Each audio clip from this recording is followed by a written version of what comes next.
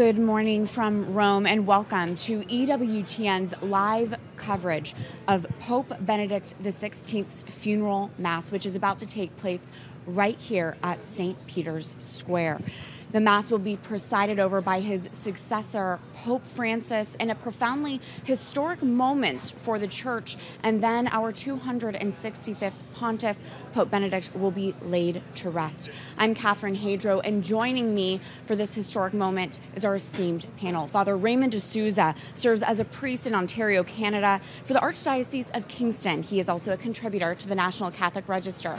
Dr. Matthew Bunson is executive editor and Washington, D.C. bureau chief for EWTN News, and Father Roger Landry is the Catholic chaplain for the Columbia University in New York City. He previously served in the diplomatic service for the Holy See at the United Nations.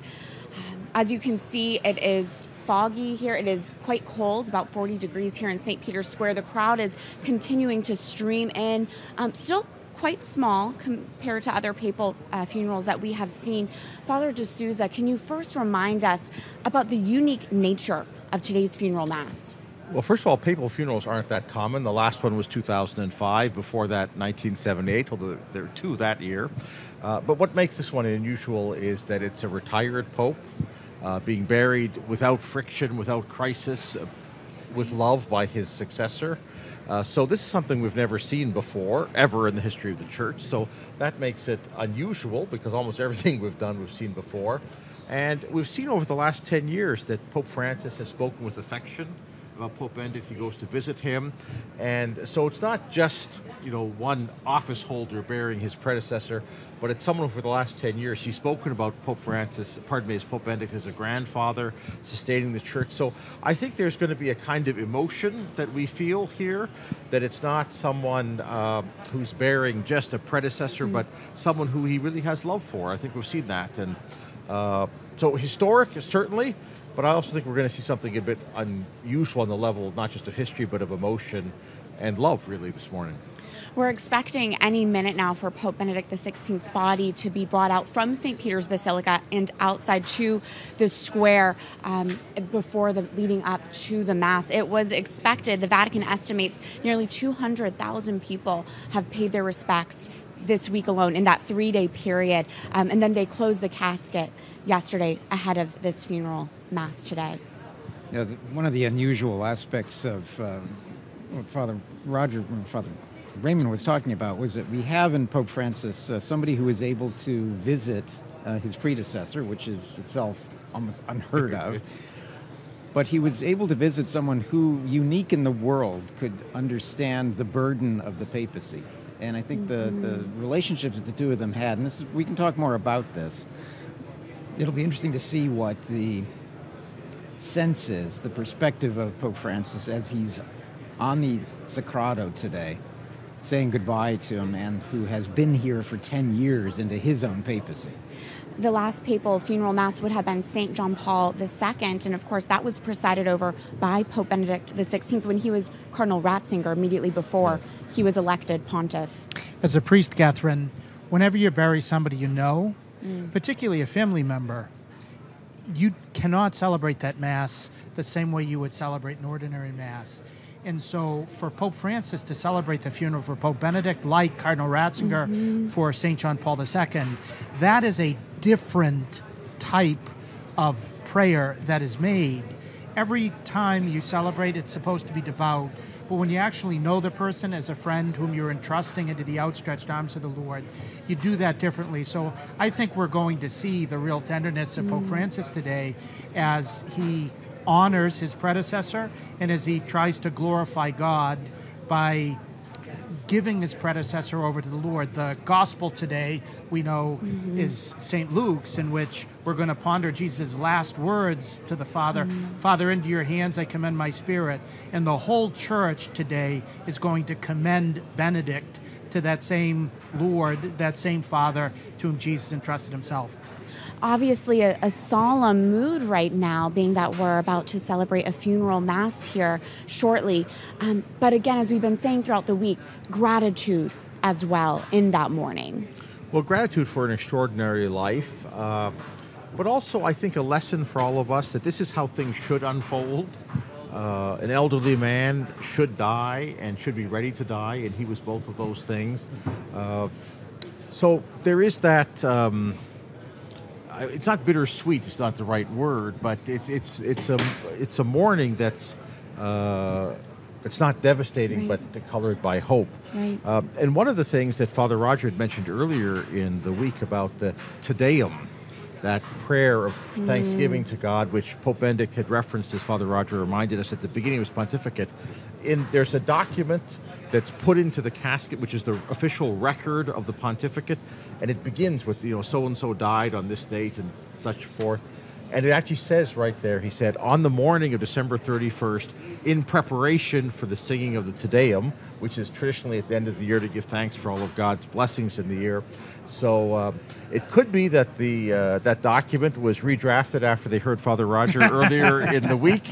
Uh, but even if not, um, I'm glad he pointed it out. But it's beautiful that he died as the church was preparing to say thanks be to God for all of the blessings, and we today are offering our own kind of Te Deum for a very specific blessing, which is the life, long life of Joseph Ratzinger, our Holy Father, Pope Benedict Yeah. XVI. In the gospel, the day that he died is the first 18 verses of St. John's gospel, in which we ponder grace upon grace.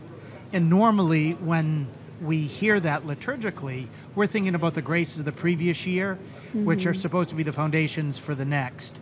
But when Pope Benedict died, there's grace upon grace. He received so many graces from the Lord that he used as down payments for future graces. But then all of us have received that extraordinary grace. But we're not supposed to bury it like the talent that Jesus describes in one of his gospel parables, but we're supposed to invest it to bear fruit from this extraordinary inheritance we've received from a very, very generous German disciple and Bishop of Rome. Absolutely. There's a connection in some ways between the formal canonization. We're not getting ahead of ourselves in any way here. But when we canonize someone, for example, the, the canonization of Pope St. John Paul II or Pope Paul VI, we were not so much canonizing the Pope as much as we were canonizing Karol Wojtyła, or we were doing the proclamation of the canonization of Montini. Today, we are certainly here for the funeral of Pope Benedict XVI, but this mm-hmm. is as much the funeral of Joseph Ratzinger. And in that sense, this opportunity to celebrate his life, to reflect on his life and the contributions that he has given to us. Yesterday, Pope Francis referred to him as a master catechist. Mm-hmm. And I'm looking forward to continuing to learn from Joseph Ratzinger, even today, as he lies here in the, the square of St. Peter's. And I know we'll discuss this at length throughout our live coverage today, but if you could each quickly summarize what do we think that legacy will be? What stands out to you right now when it comes to Pope Benedict's life? Well, in that spiritual testament, which he wrote in 2006, so that's almost, what, 16 years ago, he talked about how out of the tangle of confusions comes the reasonableness of faith. That's what he wanted the world to hear from him when he died. Uh, and that reasonableness of faith in great encyclicals like Fides et Ratio and Lumen Fidei, neither of which carried his name, but who he was a big force, uh, his, ma- his masterful addresses, uh, and his conviction that the human mind and the human heart could know the truth and know the truth about himself, about the world, about God. That's, I think, his uh, legacy, and that that knowledge made us free and able to love. I think that's uh, that's what I would say. It's beautiful. I would clearly say that his greatest legacy was the way he always sought to lead us to God. When we look at the charism of leadership, there are strengths and weaknesses in any leader. And when he assumed the papacy at 78 years old, he was well aware of his weaknesses. He was not going to be a great administrator. He knew he needed help around him, etc. But what his strength was was to lead us to God. He tried to do that by teaching us how to pray. He gave a year and a half of mm-hmm. catecheses to try to help us to pray better. He did it by the way he prayed and especially sought to pray the Mass to make sure that at Mass we had a theocentric experience, that we were really focused on God rather than everything else. And then he sought to engage the world, especially the secular world. Mm. He had defined secularism as living as if God didn't exist. And he wanted to remind the world that God, in fact, did, that he mm. came into the world to be with us. And he saw his life project and his papal mission to help us to discover that Emmanuel, God with us, is still very much with us, loving us, saving us, accompanying us, calling us, and wanting to welcome us forever, like we pray he did December 31st. Joseph Ratzinger, Pope Benedict XVI, into the house of the Father. Yes. We go back to 1968 and his magnificent book, uh, Introduction to Christianity. And we see that as a reflection of his thoughts uh, on the Second Vatican Council, the, the, the chaos that followed, not because of the council, but because of the way it was interpreted and, and all of that. But at starting to ask those questions even then of what was happening in society, in culture, and having a response to that. You mentioned uh, the, the dangers of secularism, the dangers of relativism.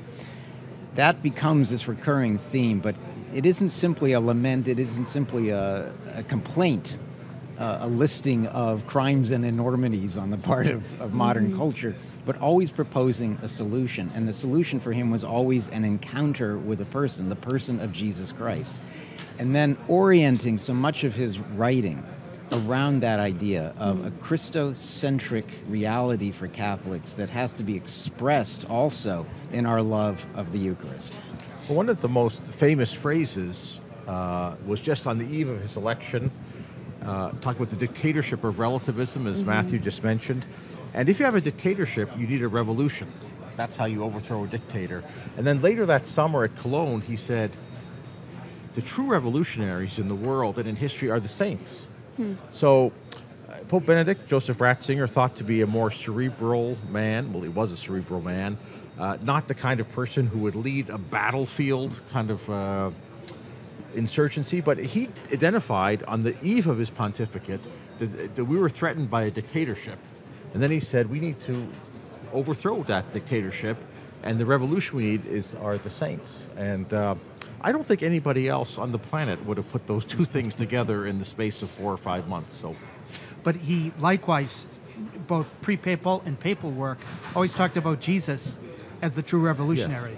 So he was the vicar of the one who brought the definitive revolution to the human race in bringing us the kingdom. Right. And you know, when Pope Benedict preached about the kingdom, he preached about it in a more powerful way than I think any figure in the 2,000 years of Christianity has. Wow. Where he said in 2000, the kingdom of God is God. Hmm. It means God exists, that God is not the ultimate cause or this faraway deist reality who creates the world but then detaches himself from it. That God is the foremost reality in any human life.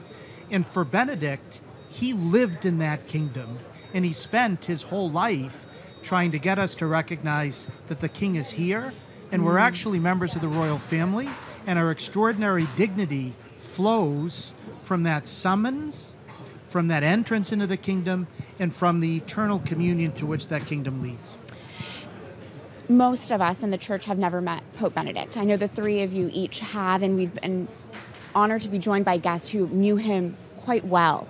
And to hear anecdotes and to hear um, just these humanizing stories about Pope Benedict. We also know these different anecdotes. He loved cats, he liked orange Fanta, just hearing different traits about him um, to get to know him more as a person. But he famously in the media had this reputation as God's Rottweiler. Um, I'd like to address that again just because I think that's on the forefront of a lot of our viewers' minds, that reputation as, as cold and stern. Um, but that's not what we heard from people who knew him well. And how would you describe Pope Benedict's personality and him as a man? well, I didn't know him that well. I I preferred his taste in theology to either soft drinks or pets. I would have to say. So I I don't. I'm content with No that. comment. Uh, But that was a, a, a caricature that was that applied to him, but it applied to the faith more generally. The idea that if the faith says something is wrong, if the faith says something is right, that diminishes me. It makes me less of who I am. It takes away my freedom. And because he was the one who was to defend the faith, he got that more than others. And to be frank, there was a little bit of anti German. I mean, know, the, the number one villain for most Hollywood films in history is a German person. And so that was there was a bit of that. Uh, so we should be careful in that Joseph Ratzinger was not that kind of person. He was a very courteous gentleman. He was very kind. He was very engaging. But let's apply that to the faith in general. The church is not a Rottweiler. Hmm. And the caricature that was labeled or that was leveled at him, pardon me, was partly for the whole church. Hmm. And he bore that as one of the more prominent members. And the church isn't like that. And he wasn't, and please God, isn't like that. So, and I think to be honest, when he became Pope and when he traveled, one of the most important trips that I covered was his 2010 trip to Great Britain. And mm. there was a sustained campaign for months, even saying he should be arrested when he came. It was, it was, it was so hostile. And he came, and at the end of it, the Prime Minister of Great Britain, when he left, said, You have stopped and made us think. And so when people got to know him, they saw much more than that. So that's why I would say. One of the few things missing from his trip uh, in 2010, there were no popery signs. I mean, it, it, it- old traditions of anti-Catholicism were In that sense, very- he, he, he was a symbol of more than just himself, I think. exactly rather than a Rottweiler, he was a lamb, very much like the Lamb of God he served. He was meek and humble of heart. That calumny against him mm-hmm. was mainly because he had to correct theologians who were veering from the truth of the faith. And he tried to do so with meekness, but nevertheless, they often controlled the narrative and they said that they were persecuted and that he was the one coming after them. But what we see in him is he always did so with great professional respect for people with whose ideas he disagreed because he respected them as persons, even though he called their ideas um, wayward. And one of the things that I loved about Pope Benedict, and I wrote about it in a column that will come out today in the National Catholic Register, is when he assumed the papacy, he had a conversion very much like his theological mentor, St. Augustine, 1600 years before, where St. Augustine went from writing these massive tomes to having to give homilies to ordinary people and care for widows and everything else. And that's what Pope Benedict needed to do when he assumed the papacy. His theological writing was now totally focused on helping people like us to mm. come to know Christ much better. He could even teach eight year olds about the truths of the faith. And so that showed his real character. This person gently capable of mm-hmm. leading even children to the child born for us in Bethlehem. That's beautiful. I Math- might add math- one about that is that if he hadn't been so smart, he would have been better loved. By, and what I mean by that is that when people know that you can't win an argument because you just can't win an argument, then you start to level insults. Hmm. And there are certain figures hmm. along the way. In, in the United States, we had the late Cardinal Francis George, and no one could win an argument. Some people are just more brilliant than everybody else around them, and Joseph Ratzinger was that his whole life long. And part of that frustration is that, well, if I can't win an argument, I can attack the man's motives. And he would know uh, that the worst of all arguments is the ad hominem argument, and he spent a good part of his life dealing with that. Matthew, how would you describe Well, him? in addition to uh, the love of cats and Fanta, we also have to add Christmas cookies. He, he had a great passion for Christmas cookies and Mozart. That I can agree with. There you go. Right. No one can argue with you. But you're right. He was always the smartest person in the room, regardless of the room he was in. and the other aspect, though, is for him, there was, because of his genius, mm-hmm. because of the depth of his learning, and also, I would argue, his prayer life, he was also a profoundly prophetic figure. We go back to the 60s into the 70s, his warnings about where we were headed, mm-hmm. all of it has come true. You can go back to almost any of his writings where he was talking about the, the loss of an authentic sense of freedom truth and love. And I want to direct our viewers' attention to St. Peter's Square, where they are now bringing out the body of Pope Benedict XVI. We'll be right back to that shortly. Um, and I just also, it's important to note that Pope Benedict's remains will lie in the crypt of St. Peter's Basilica in the same tomb where St. John Paul II was initially buried. Um, what's the significance to that? Well, that tomb, uh, we have one of the experts here, but that tomb was actually used by St. John the 23rd before. In our tradition, no one can be buried in a church until they're beatified. So they're below and then they come up above. And here we see the, uh, Yes. the coffin emerging. And Father Landry will take us through the dynamics of the, of the crypt under St. Peter's. So, St. Peter's tomb is right underneath the main altar of the level. There, some of the first popes were buried right around him. The Book of the Popes, written in the 530s, describes that. And then many of the modern popes are buried in that lower level of St. Peter's, which was the original level of the basilica built by Constantine in the 320s that existed all the way up until it was dismantled in 1506 for the present basilica that we have. And so, buried very close to him will be now Blessed John Paul I, uh, St. Christina of Sweden, uh, Pope Innocent the uh, third is buried right down there. St. Paul the Sixth is going to be buried right next to him. I think there's great fittingness to the fact that he's going to be placed in the tomb of the where once lay the Pope who convened the Second Vatican Council, Yes. St. John the 23rd. He was a great peritus at the Second Vatican Council. Then, of the one who summoned him from Munich, Freising, here to the Vatican to work at his side, St. John Paul II. And we can pray here, as I will, that just as John the 23rd and St. John Paul II were eventually elevated into the upper basilica mm. after their beatifications, that the same thing will happen to the one born to Marktl am Inn, August, uh, April 16th, 1927. I, we could hear some light applause in St. Peter's Square as they brought out Pope Benedict's body. Um, again, And the we're- body's lying there now. And we remember that scene, don't we, from the uh, funeral of St. John Paul II. And uh, it's traditional that the book of the Gospels, which is placed over a bishop's head when he's ordained, is then placed on a cardinal's tomb, or, car- pardon me, a cardinal's cassock. And on the right hand side there, you see his longtime secretary, that's Archbishop Georg Gänswein, who has put the uh, book of the Gospels there. And if I'm not mistaken, that was also uh, Bishop Guido Marini, his uh, longtime. Bishop Marini's um, successor as Master of Ceremonies was opposite Archbishop Gänswein. Yes. And the faithful will be praying the rosary leading up to the funeral mass, which again will be presided over by Pope Francis. Something else that we know today a peal of church bells will ring across Germany in mourning for Pope Benedict today. The bells of all Catholic churches of the 27 dioceses in Germany are expected to toll at 11 a.m. Um, the White House ha- will be uh, represented by its ambassador to the Holy See, Joseph Donnelly.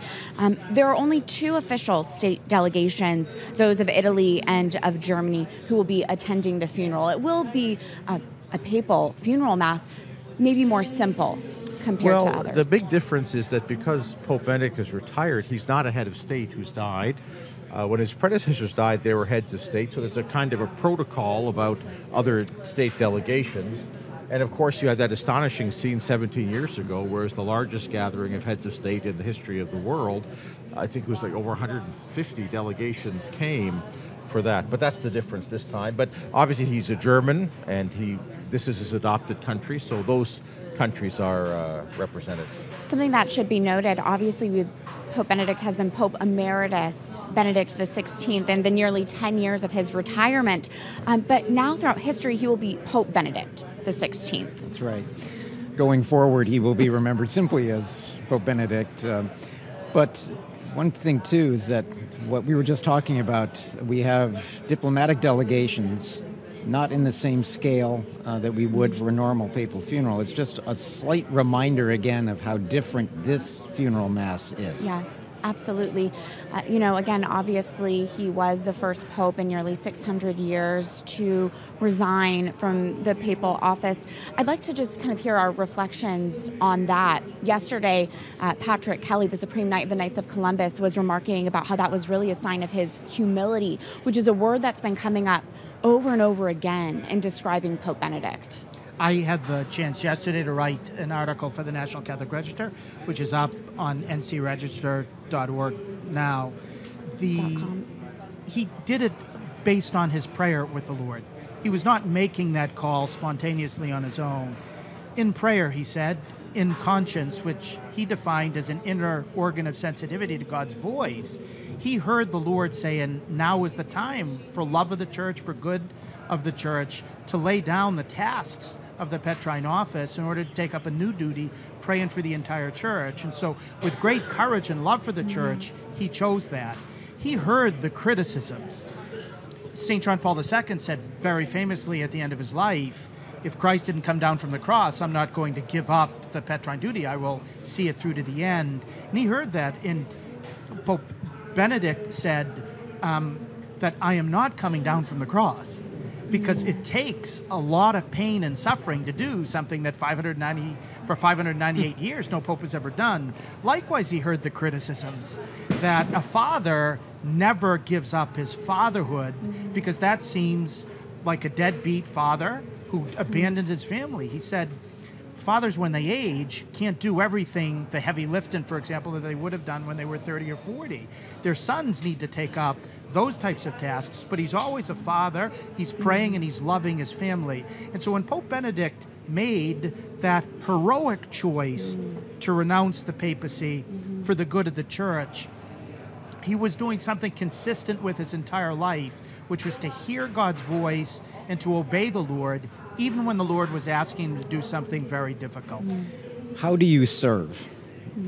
His life was one always of service. And I think we had yesterday in the general audience this uh, continuation, the conclusion of a lot of reflections on the part of Pope Francis on discernment, on spiritual accompaniment, on spiritual direction, but also this key of discernment. We know that Benedict was not somebody who is going to make a, a spur of the moment decision. Mm-hmm. He reflected on, on this for a long time. Mm-hmm. But then he reached the conclusion how can I best serve the church? How can I best serve God and his church? Mm-hmm. And he reached the conclusion that by, by resigning, he would best serve. This is how he could serve, this is how he could help the church in retirement knowing that he did not have the strength to continue on to carry the burden of the papacy of a billion souls on his shoulders.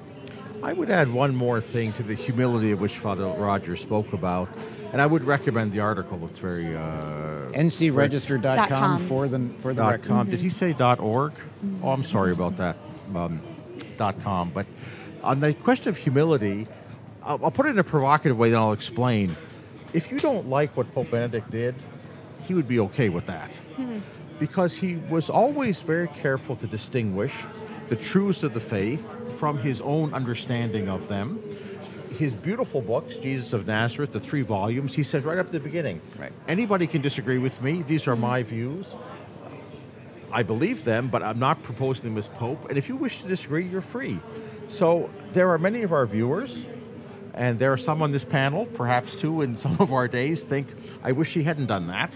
Hmm. And he would not say you have to say I did the right thing. He explained with great simplicity why he did it.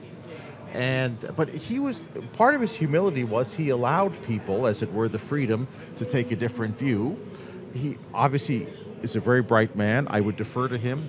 He's a very prayerful man. I'd certainly defer to him there. So I don't have reason to think he made a mistake. But if viewers d- didn't like the decision he reached, he was very open to saying, "Well, I did the best I could with by my lights, and if you disagree, you disagree." But for a man who so often took criticism so well, Yes. when, as his secretary, Archbishop Gänswein, who we just saw with the gospel books Yes. at his casket, when he was trying to dissuade Right. his boss, his friend, his mentor, from the decision to renounce the papacy, Pope Benedict said back to him, listen, it's not a question to be disputed. This Yes, is a firm decision that I have made after prayer together with the Lord. And in a 2016 book length interview with his biographer, Peter Seewald, Peter Seewald said, Have you regretted it? And he said, No, mm. even for a minute. And then he said, 999, N E I N, the German, no, no, no, not even for a minute. Mm-hmm. I have done it in prayer together with the Lord, and I'm confident in my decision. And so, for somebody who has trusted in the practical wisdom of Joseph Ratzinger and Pope Benedict for decades, for us to say that the decision to renounce the papacy was of a totally different order, I just think that it's inconsistent for us. I mean, here is a person who followed the Lord his entire life, hearing the Lord's voice in such a way that he could spiritually accompany the whole globe. He was making the decision to renounce the papacy out of the same principles and the same behavior that had guided him his entire life. but also the important aspect that remained throughout his retirement, and that is that this was my choice to make. This wasn't imposed on me. You know, in the history of the papacy, we have had popes, some who were, were assassinated, some were murdered, others were, were forced to flee this, this city.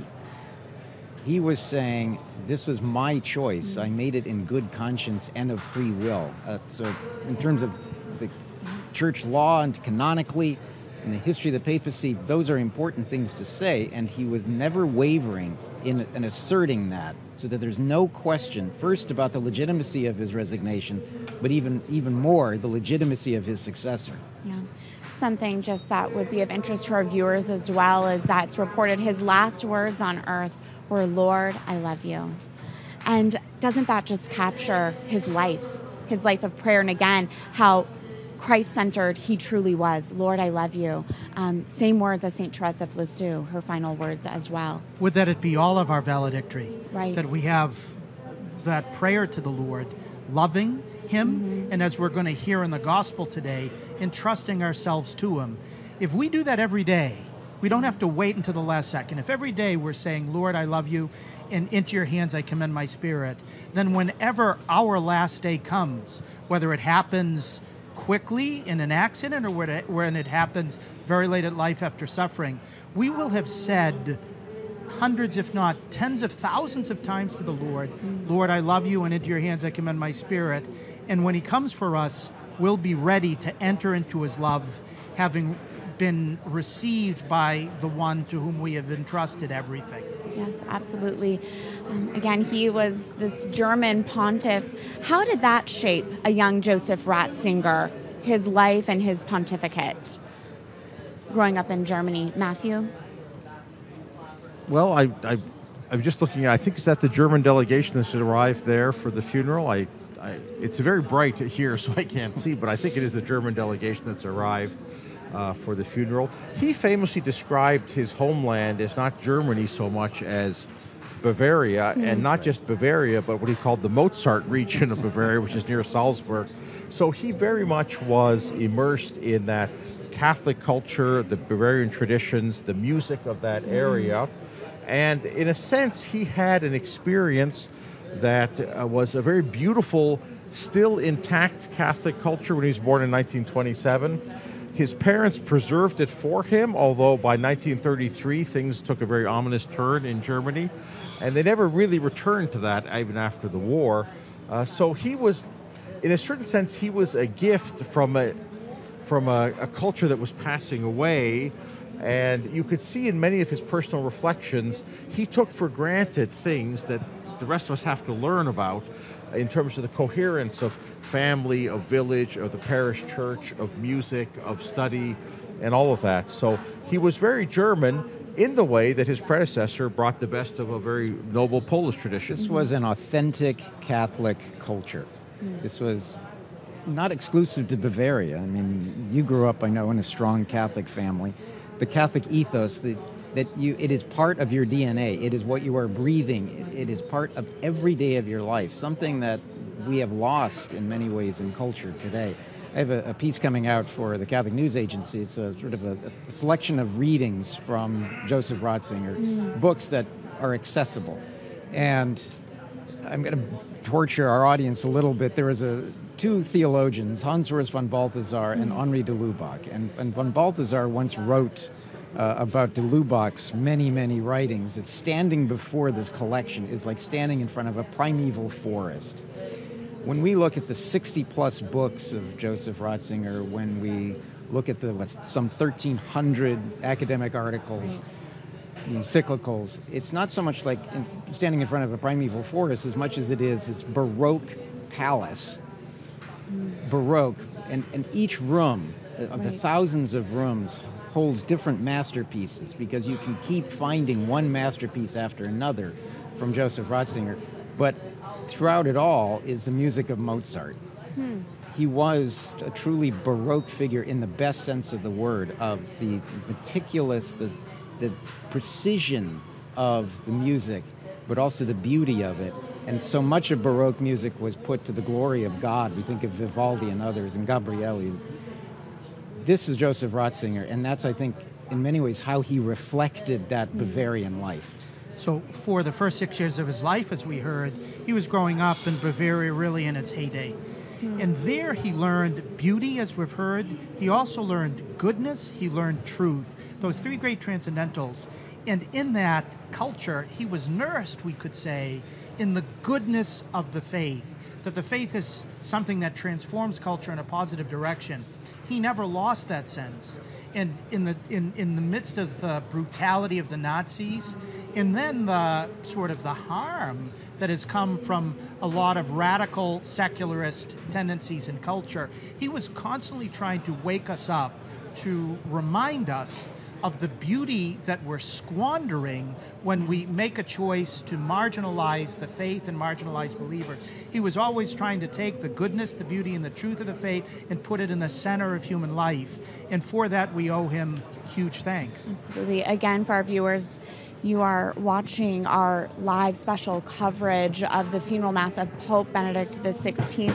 It will be underway here shortly in St. Peter's Square. Benedict's body has been brought out, and the faithful here are gathered and praying. Of course, there's the nativity scene still out here. Pope Benedict died um, within the octave of Christmas. And so, how fitting that he liked Christmas cookies. He did like Christmas. Everybody likes Christmas, I think. Uh, Especially but the it- cookies. it- Yeah. but uh, today, you know, it's the day before Epiphany, which is still celebrated here on the sixth of January. And one of the things that's liturgically suggestive about that is that Benedict had an enormous respect for other ways of thinking, not just Orthodox or Protestant Christians, but philosophers, scientists, physicists, uh, and pagan wisdom. And in his homilies on Epiphany, he would regard, okay, these men came, they didn't know they didn't know the revelation to Israel, but they knew something, and they were courageous enough to follow it.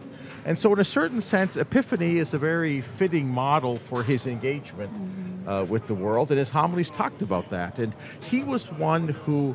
Uh, understood the value of seeing the goodness in other things, which you'd think is a default setting for everybody, but it really isn't. And certainly, if you grew up in 1930s Germany, you might be suspicious of what you're being presented with. But he managed to overcome that. And so, Epiphany, tomorrow's feast, is. Um, is fitting, and I would just make it just a logistical observation. He died on December 31st. St. Peter's is used on January 1st for the Feast of Mary, Mother of God. It's used on the 6th. So the man of the liturgy had to be sort of squeezed in. they brought him on Monday down here, and they have to bury him on Thursday because, and he would like that, that, you know, the, the basilica exists for the great solemn feasts, and he's going to squeeze himself in between those two. Well, you had a piece in the National Catholic Register. I did. uh, on the liturgical reality of, of, Connectedness. of Well, Benedict. because uh, one of the things that he remarked on his whole life long was that he was born on Holy Saturday, and he said, obviously he didn't control that, but it said it marked my identity, and uh, he was a man of the liturgy and the liturgical culture. And you know, when he would come for an occasion, and he was invited everywhere for everything, when he came, he would often say, "I'm just going to take my lead from the mass texts of the day, from the readings of the day, and let myself be guided by the liturgy. So I think it would please him that when he died, the organizers of all the ceremonies had to say, well, we've got two solemn feasts and we've got to respect those, and they have. Well, Catherine, uh, earlier this week you read uh, a note that the Yes. young Joseph Ratzinger wrote Yes. about the Christ child. Yes. And to consider again this octave of Christmas, the wonder of Christmas, that there was a, a wonder in this young Joseph Ratzinger about the Christ child, about how he loved the Christ child. That is a, a, a sense of wonder. It's a sense of innocence, mm-hmm. but it's also a sense of childlike trust that continued all the way to his last comment, his last words, Jesus, I love you. How appropriate is that, and how horribly misunderstood that can be, where in, in a technocratic culture like we have today, Right. uh, misunderstanding the idea of a simple faith as being simplistic. As a priest, I always was moved to have the privilege to celebrate funeral masses during the Christmas octave and during the Easter octave. And during the Christmas octave, we ponder the meaning of Jesus becoming one of us. And in one of our great English Christmas hymns, we, we sing, Born so that man no more may die. Hmm. That Jesus came into the world in order to bring us into his world. He took hmm. on our humanity to make us partakers of his divinity. And to be able to celebrate this funeral mass on the 11th day of Christmas mm-hmm. is something in which we're going to be pondering the one who for whom Joseph Ratzinger, Pope Benedict gave his entire life, the one risen from the dead, the one who called himself the resurrection and the life. And we pray that just as he was born so that man might no more die, that Joseph Ratzinger will experience that eternal life in the presence of God with us forever. And if I can uh, just take that one step further, I, I don't. People don't choose when they die, but great souls do choose when they die. I think, and uh, John Paul II died on the eve of the octave day of Easter, Divine Mercy Sunday, and Joseph Ratzinger always regarded himself as a collaborator, but one one step down, and so it would have been a bit. Uh, some effrontery to die also in the octave of Easter. So he died on the eve of the octave of Christmas, which is a remarkable symmetry. And it would be like that's he always called he started off his pontificate saying, you know, after the great John Paul. So John Paul took the octave of Easter and uh, Benedict took the octave of Christmas and so that that somebody's going to have to die in the octave of Pentecost. That's going to be the only one that's that's left. And if we live long enough, someone will have to settle for the 32nd week in ordinary time. But it's remarkable, isn't it, that they would have died on those uh, very similar liturgical There days. are no coincidences in God's no, providence. there are no Yeah. coincidences in God's Absolutely. providence. My mother's favorite line that she quotes from John Paul II all the time. Imagine that you are Joseph Ratzinger, and by the time you have your, your doctorate, you, you got your habilitation on Bonaventure, you are prefect for the Congregation of the Doctrine of the Faith. You are arguably the most learned man. We talked last night. Was he the most learned man in the world? Uh, we, we talk in history about somebody like Desiderius Erasmus, who was considered to have all the knowledge possible in his lifetime. You have all of that knowledge. You can ponder the deepest mysteries of the faith, but somehow you have not lost that simple love for Jesus. That strikes me as one of his greatest accomplishments in life, not to have lost that. to be both, to be intellectual and simple. They don't contradict each other. And again, talking about, you hear the Salve Regina being prayed behind us as well.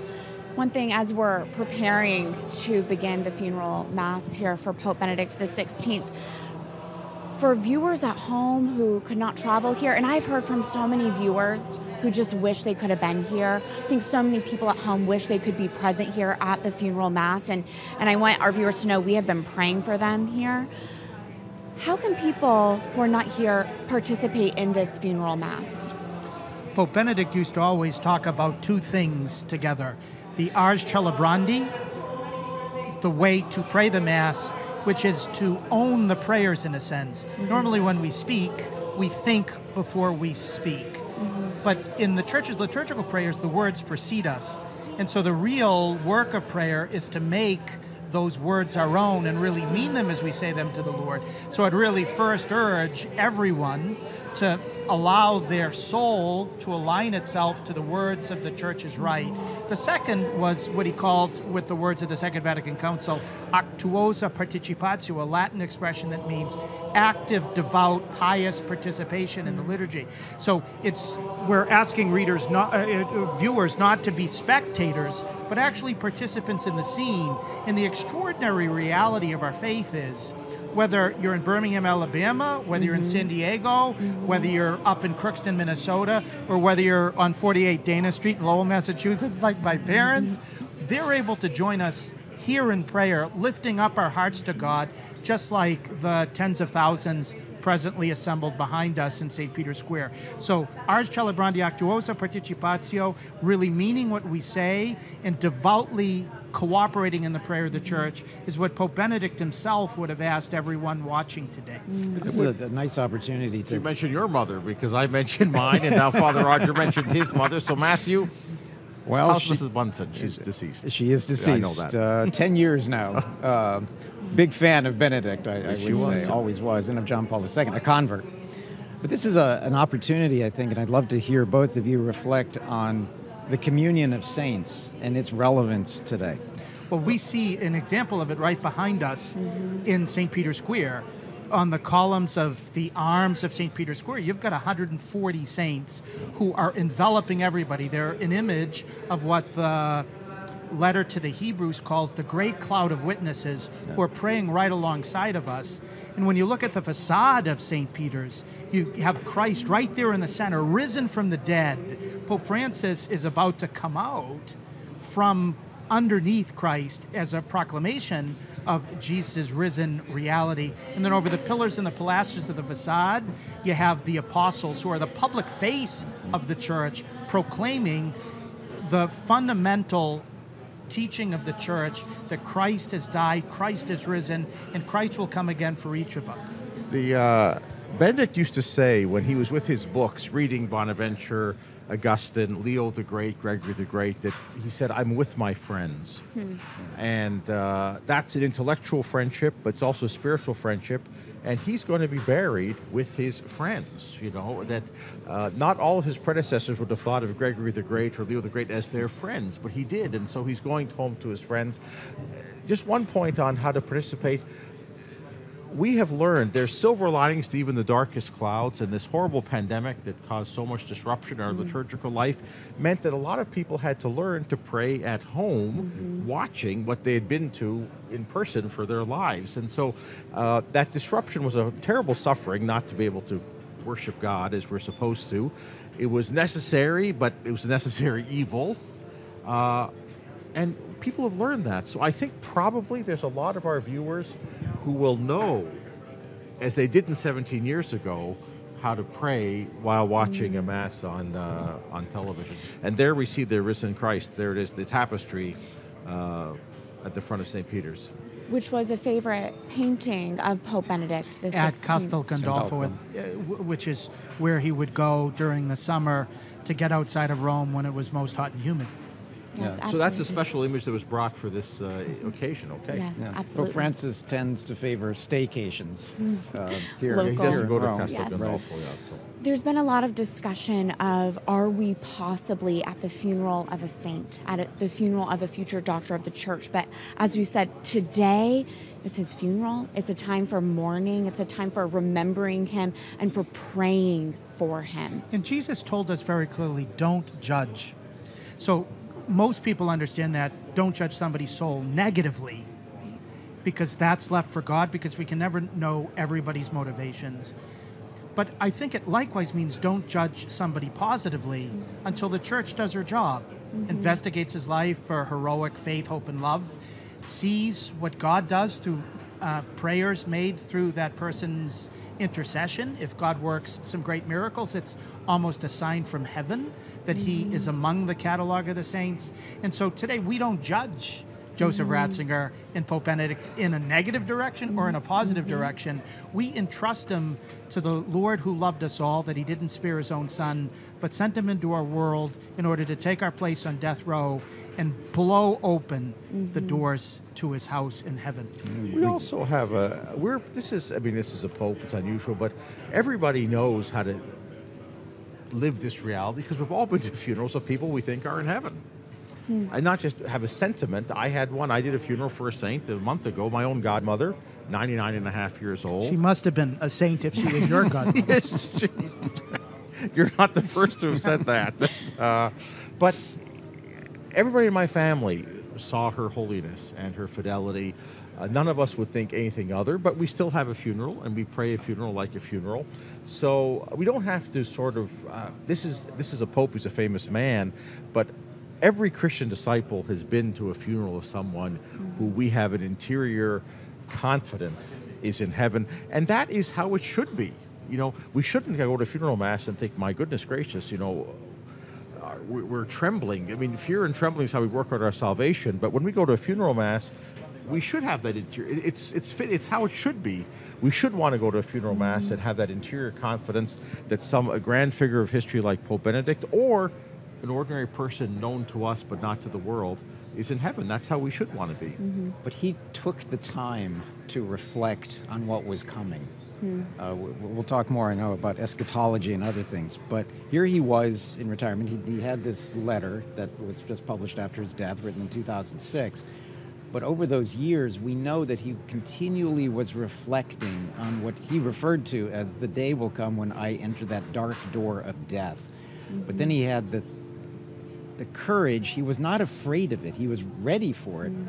But it's one thing to be ready, but also not to be afraid. He was not afraid. Why? Because he said that the judge who will judge him is my friend. And he knows that A, his judge will be fair, mm-hmm. but his judge also loves him.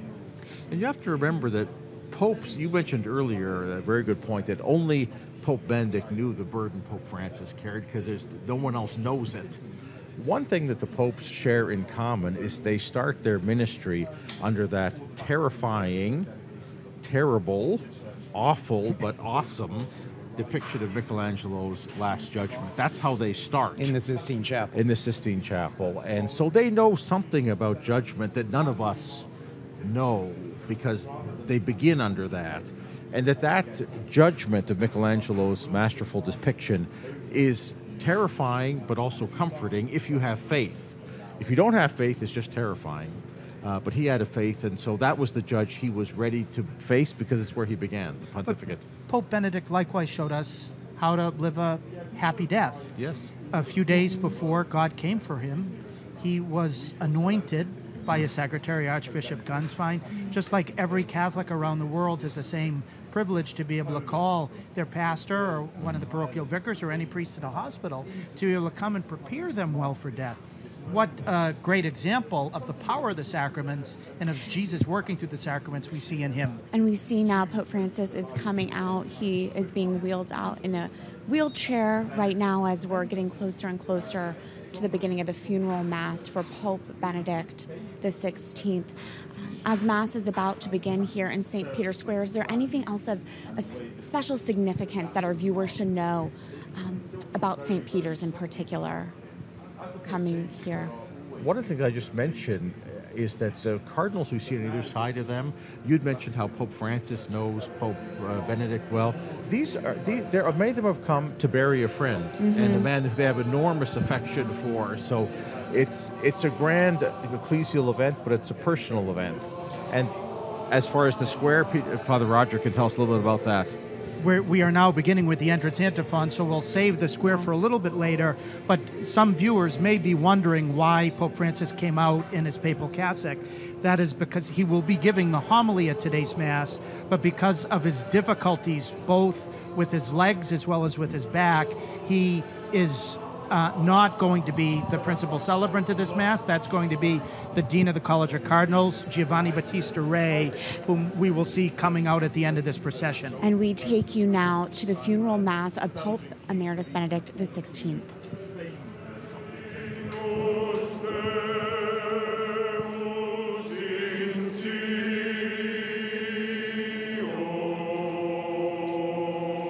So now the entrance antiphon is being sung, in which we pray to the Lord, Eternal rest grant unto him, O Lord, and let perpetual light shine upon him.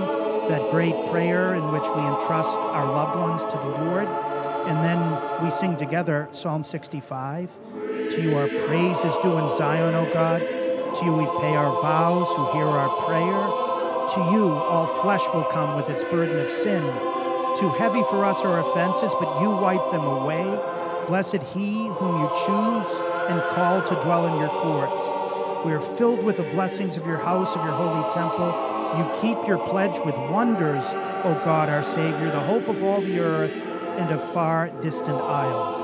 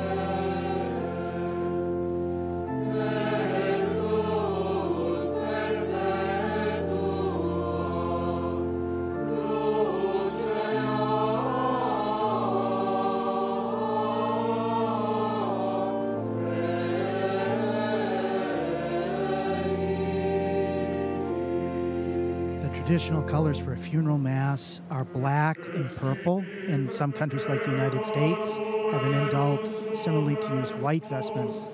But for a funeral of a pope, red is the traditional color. So you are seeing the cardinals of the church dressed in red processing in now.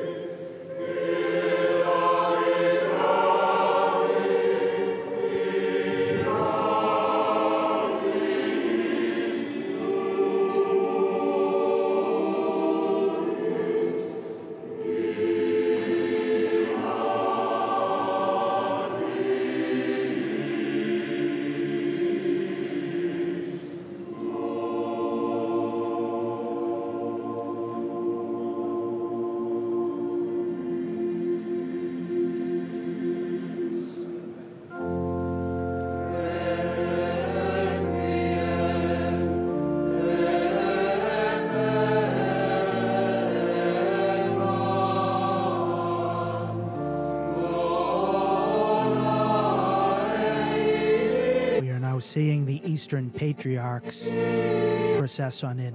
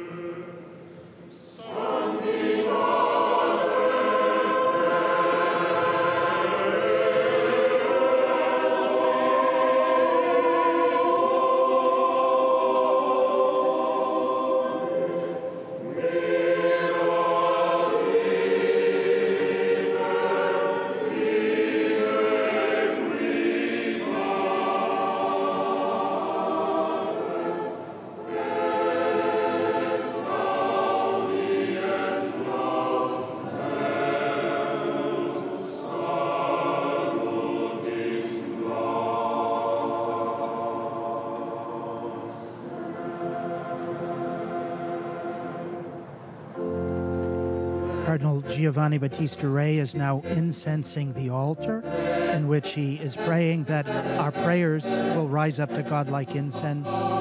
He was the head of the Congregation for Bishops for the first half of the pontificate of Pope Benedict, and he is the dean of the College of Cardinals, which is why he was asked by Pope Francis to be the principal celebrant of this Requiem Mass.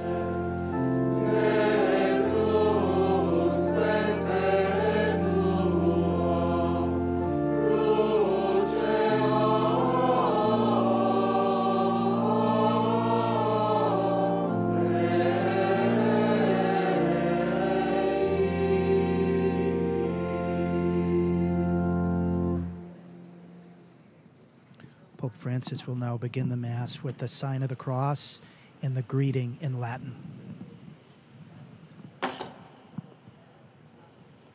In nomine Patris et Filii et Spiritus Sancti. Amen. Pax vobis. Et cum spiritu tuo. Fratres, agnoscamus He peccata invites nostra, to audati acknowledge our simus sins ad sacra so as to prepare ourselves to celebrate these sacred mysteries.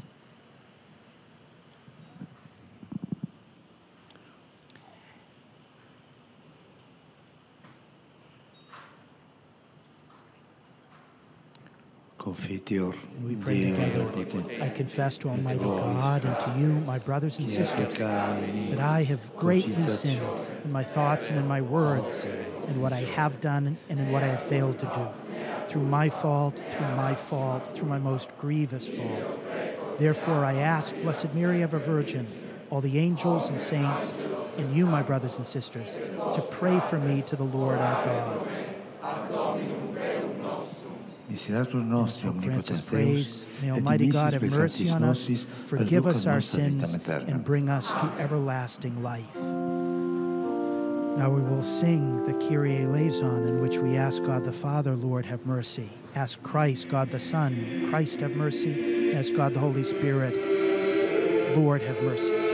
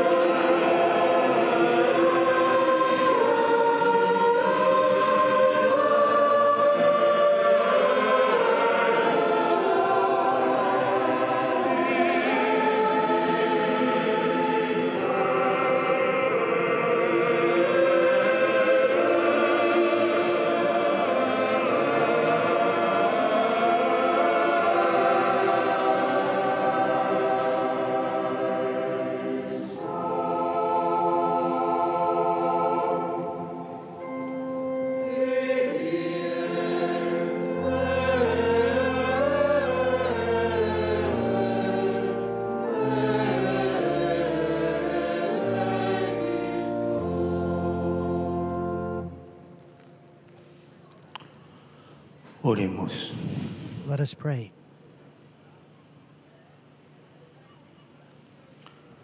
Deus, que ecclesia God, who in your wondrous providence chose your servant Benedict to preside over your church. Presta a questo. Grant, we pray, that having served as the vicar of your Son on earth, he may be welcomed by him into eternal glory, who lives and reigns with you in the unity of the Holy Spirit, God forever and ever. Unitate Spiritus Sancti, Deus, per omnia saecula saeculorum.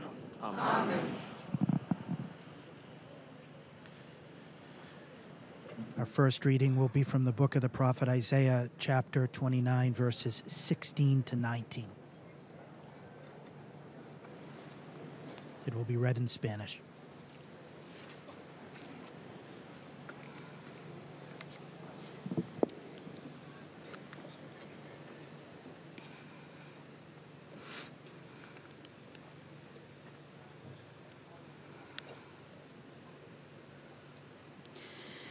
Lectura del libro de Isaías. Esto dice el The Lord says this Is the potter no better than the clay? para que la Can something that was made say of its maker, No me ha hecho. He did not make me? Or pot say of the potter, He is a fool? Este no entiende nada.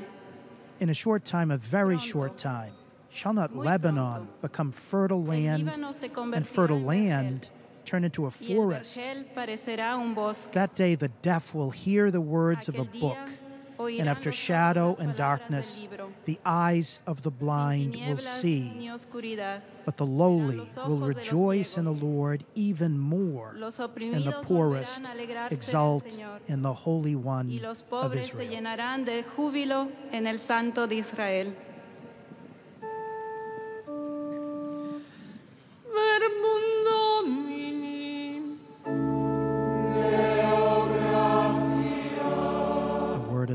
Lord, thanks be to God. And now we will hear the most famous psalm sung. Psalm 23 The Lord is my shepherd. I lack for nothing. There's nothing I shall want. Dominus pascit me, et nihil mi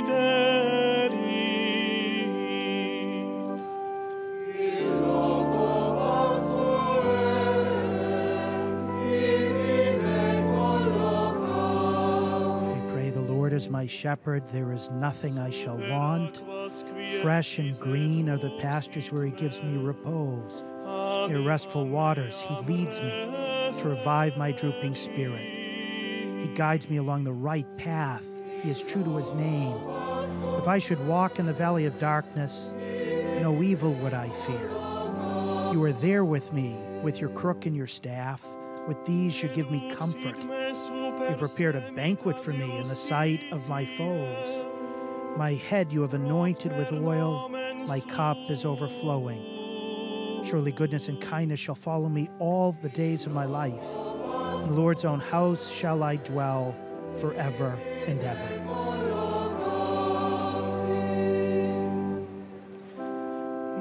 Amet si ambula vero in valle umbre mortis, non timebo mala. Quoniam tu mecum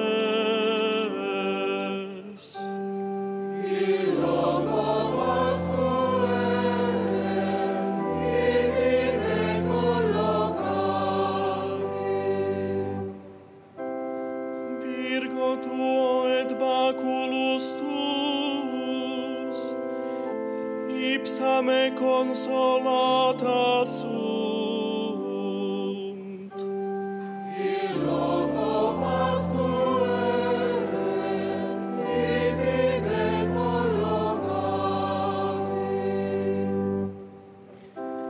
Parasti in conspectum eo mensa, adversus eos qui tribulant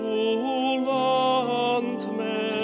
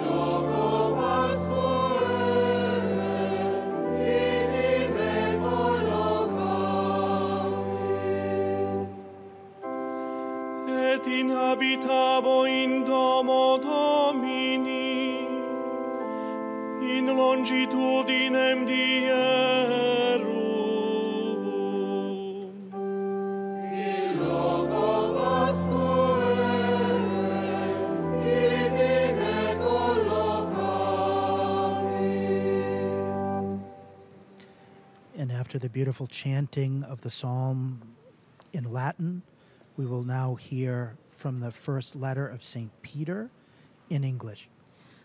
Our reading from the first letter of St. Peter.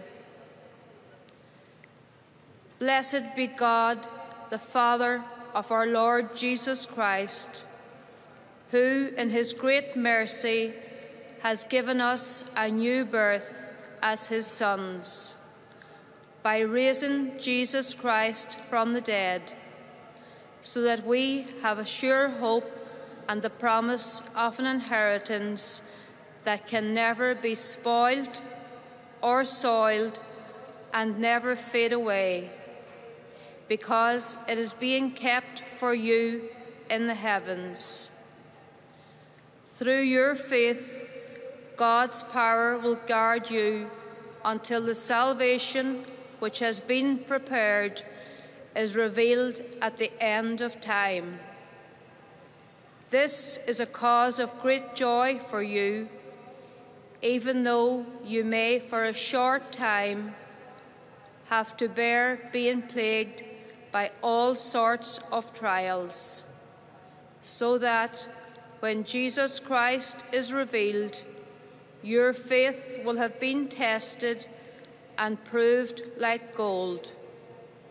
Only it is more precious than gold, which is corruptible, even though it bears testing by fire.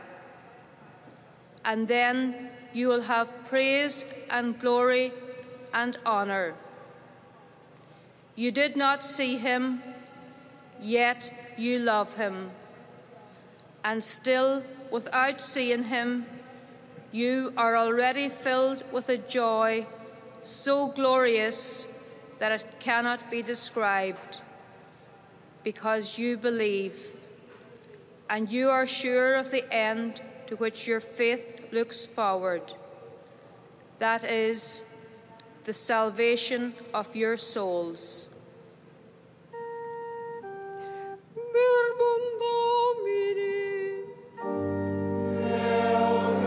We say thanks to God for the word of the Lord. And now we will sing the Alleluia, in which we use the Hebrew word praise the Lord three times. And then the gospel verse will be It is my Father's will that whoever sees the Son and believes in him shall have eternal life.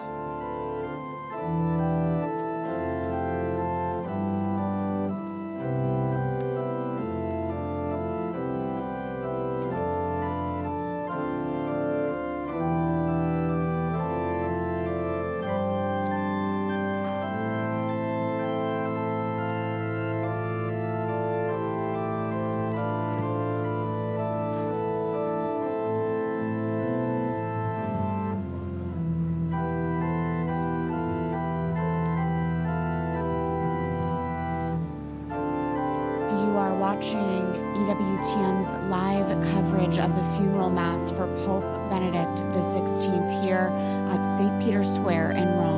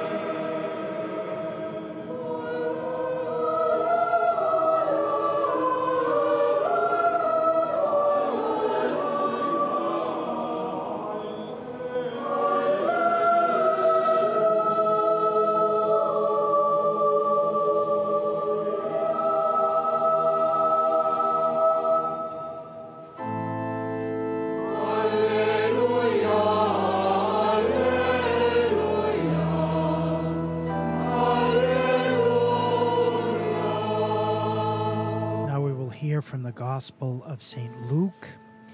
The initial will be in Latin. Dominus vobiscum. The Lord be with you and with your spirit. Lectio Sancti Evangelii secundum Luca. A reading from the Holy Gospel according to Luke. Glory to you, O Lord. And now we will hear in Italian.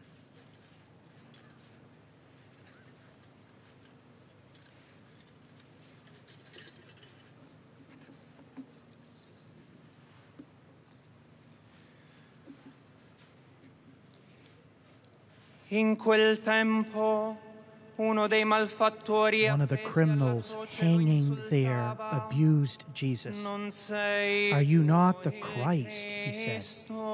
Save yourself and us as well. But the other criminal spoke up. and rebuked him. Have you no fear of God at all? He said. alcun timore di You got the same sentence as he did. Oh, sei But in our case, we deserved it. We are paying for what we did. But this man has done nothing wrong.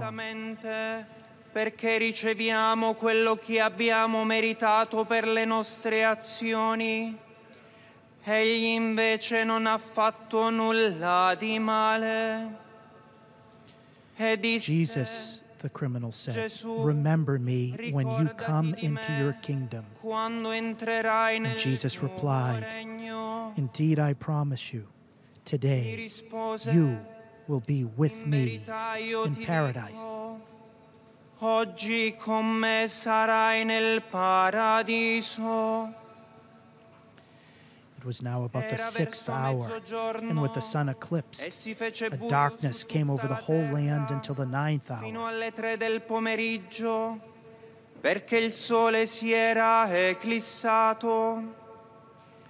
The veil of the temple was torn right down the middle. And when Jesus had cried out in a loud voice, he said, Father, into your hands I commend my spirit. Nelle tue mani And with these words, He breathed his last. Detto questo, spiro. Verbum Domini. The gospel of the Lord. Praise to you, Lord Jesus Christ.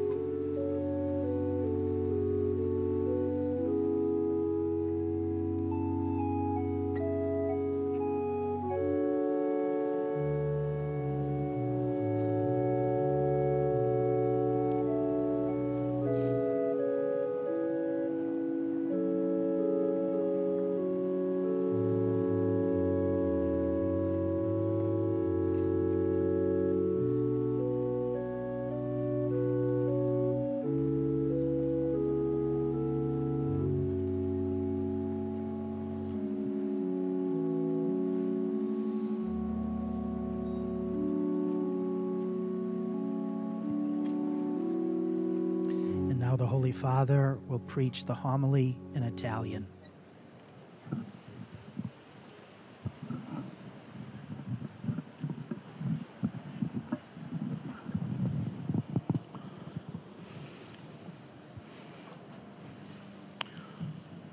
Padre, Father, into your hands I commend my spirit.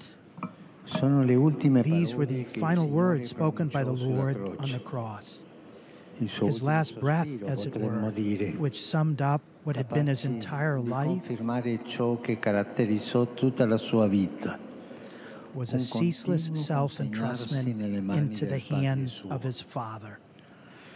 His hands were those of forgiveness and compassion, di guarigione, di healing and mercy, anointing and blessing, benedizione che lo spinsero which led him also to entrust himself anche nelle mani into the hands of his brothers and sisters. Il Signore The ha Lord opened to the individuals and their incontravano lungo il stories that he encountered along the way. dalla volontà di Dio.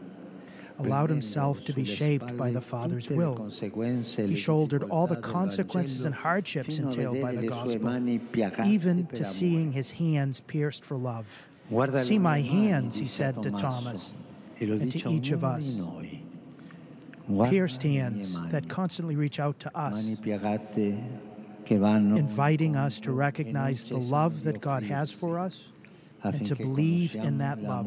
che Dio ha per noi e crediamo in esso. Padre, Father, into your hands I commend my spirit. l'invito il programma This is the invitation and program of life that Jesus quietly inspires in us. vassaggio il cuore Like a potter, he wishes to shape the heart of every pastor until it is attuned to the heart of Christ Jesus. Attuned in grateful di servizio al devotion Signore al suo popolo. In service to the Lord and to his people, a service born of thanksgiving for a completely gra- gracious gift. You belong to me, you belong to them, the Lord whispers. You are under the protection of my hands. You are under the protection of my heart. Stay in my hands and give me your hands. Here we see the condescension and the closeness of God, who is ready to entrust himself to the frail hands of his disciples so that they can feed his people and say with him, Take and eat, take and drink, for this is my body given up for you. attuned. totale di Dio. Dedizione Attuned in prayerful devotion, a devotion silently shaped and refined amid the challenges and resistance that every pa- pastor must face, entrusting obedience to the Lord's command to feed his flock. Come il maestro Like the Master, a shepherd bears the burden of interceding and the strain of anointing his dell'unzione per il people, especially in situations where goodness must struggle to prevail e fratelli and the dignity of our brothers and sisters is threatened. Dignità. In questo incontro di intercessione In the course of this intercession, the Lord quietly bestows the spirit of meekness that's ready to understand, accept, hope, and risk, notwithstanding any misunderstandings that might result. It's the source of an unseen and elusive fruitfulness, quali mani è posta born of his knowing the one in whom he has placed his trust, a trust itself born of prayer and adoration, capable of discerning what's adattare il suo expected of a pastor, and shaping his heart and his decisions in, according, in accordance with God's good time. Feeding means loving, and loving also means being ready to suffer. Loving means giving the sheep what's truly good, the nourishment of God's truth, of God's word, the nourishment of His presence. Attuned in devotion, sustained by the consolation of the Spirit, who always precedes the pastor in his mission. Nella ricerca appassionata In his passionate effort to communicate the beauty and joy of the gospel, and the fruitful witness of all those who, like Mary, in so many ways stand at the foot of the cross, piedi della croce, in the painful yet steadfast serenity that neither attacks nor coerces, né assoggetta. Nella speranza in the stubborn but patient hope that the Lord will be faithful to his promise, the promise he made to our fathers and to his descendants forever. Anche noi, saldamente legati alle ultime parole del Holding fast to the Lord's words and to the marcò la sua witness of his entire life, we too, as an ecclesial community, seguire le sue want to follow in his steps and to commend our brother into the hands of the Father. Padre. Che queste May those merciful hands find his lamp alight with the oil of the gospel that he spread and che gli ha testified to for his entire life. durante la sua vita. San Gregorio Magno, al St. Gregory the Great, at the end of his pastoral rule, urged a friend to offer him this spiritual accompaniment amid the shipwreck of the present life. Sustain me, I beseech you, by the plank of your prayer, terrai a galla sulla so that since the, my own weight sinks me down, peso delle mie the hand of your merit will raise me up. Umilia, tu me presterai l'aiuto Here we see the awareness of a pastor who can't carry alone what in truth he could never carry alone, He can thus commend himself to the prayers and the care of the people entrusted to him.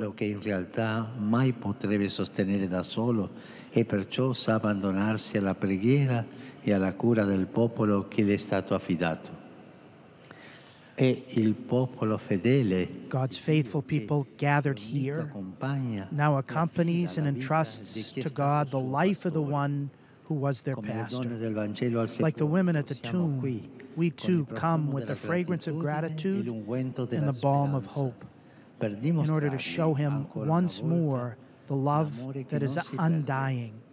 We want to do this with the same wisdom, tenderness, and devotion that He bestowed upon us over the che egli ha years. Together, we want to say, Father, Vogliamo dire insieme, into your hands we commend His Spirit. consegniamo il tuo spirito. Benedetto, Benedict, faithful friend of Jesus the bridegroom, may your joy be complete as you hear His voice per sempre la now and forever.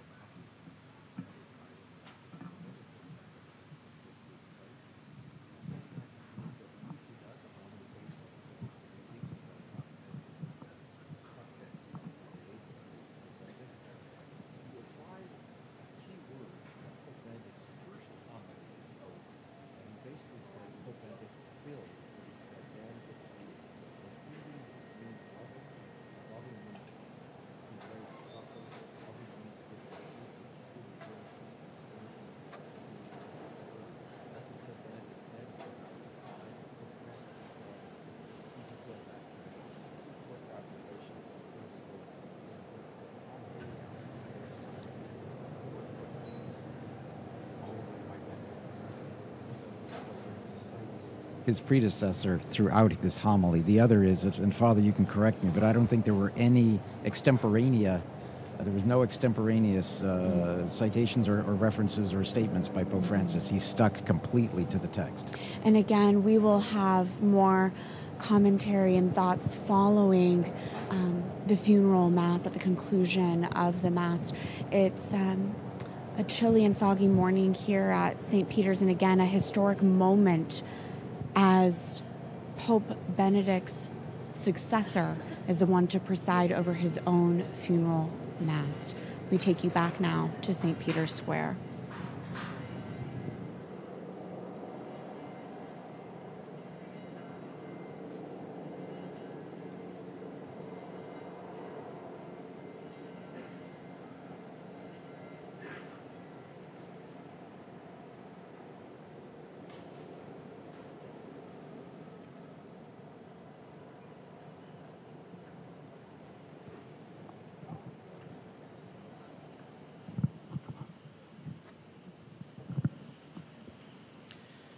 We have the prayer of the faithful prayed to the Lord in several languages. Fratelli, sorelle, preghiamo Dio, nostro Padre. Brothers and sisters, let us pray to God our Father, who in His great mercy has given us rebirth to a living hope through the resurrection of Jesus from the dead.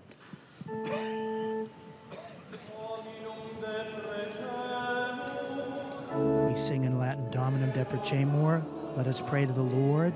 Te rogamus audi nos. We pray to you, Lord, hear us. Papst Benedikt, der im Herrn In German, we pray for Pope Emeritus Benedict, who has fallen asleep in the Lord. May the eternal shepherd receive him into his kingdom of light and peace.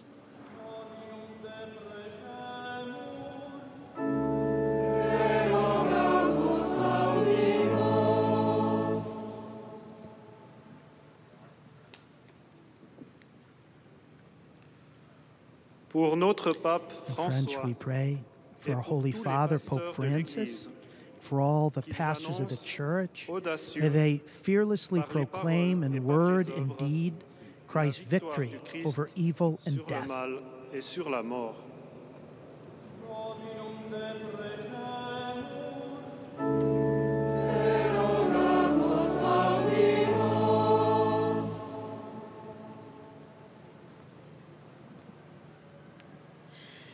In Arabic, we pray for leaders of nations and international organizations. May they strive to promote justice and peace with wisdom and foresight.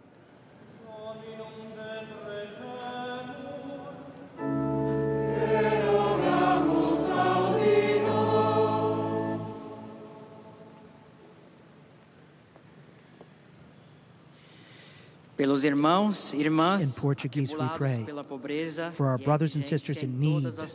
May God's love open our hearts to compassion and concern for the poor and for the least of our brothers and sisters.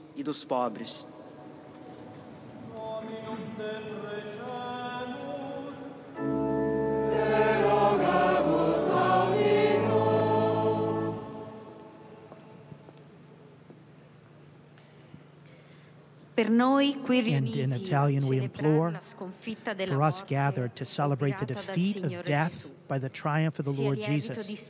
May it be for us a leaven of hope as we await the coming of the kingdom.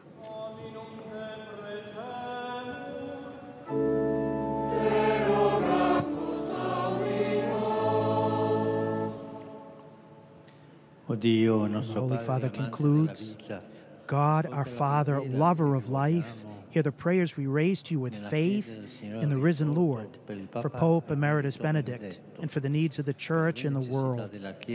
Grant us a share in fellowship with you in the heavenly Jerusalem, where sorrow and tears will be no more. Through Christ our Lord. Amen.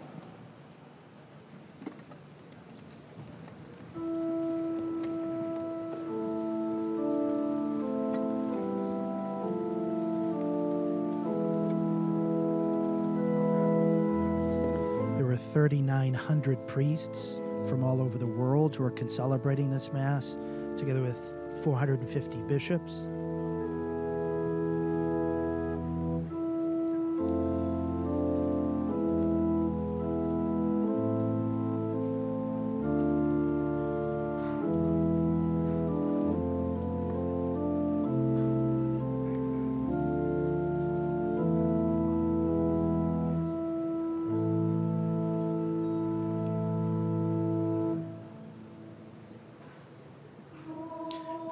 Offertory chant.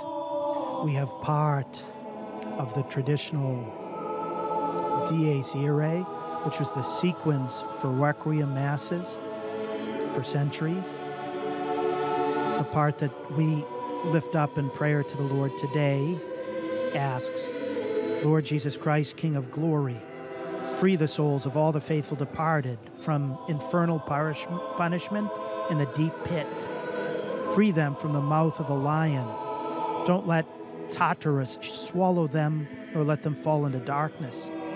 But may the standard bearer, St. Michael, lead them into the holy light that once you promised to Abraham and to his descendants. O Lord, we offer you sacrifices and prayers of praise. Accept them on behalf of those souls whom we remember today. Let them, O Lord, pass from death to life as you once promised Abraham and his descendants. is being sung by the Sistine Choir.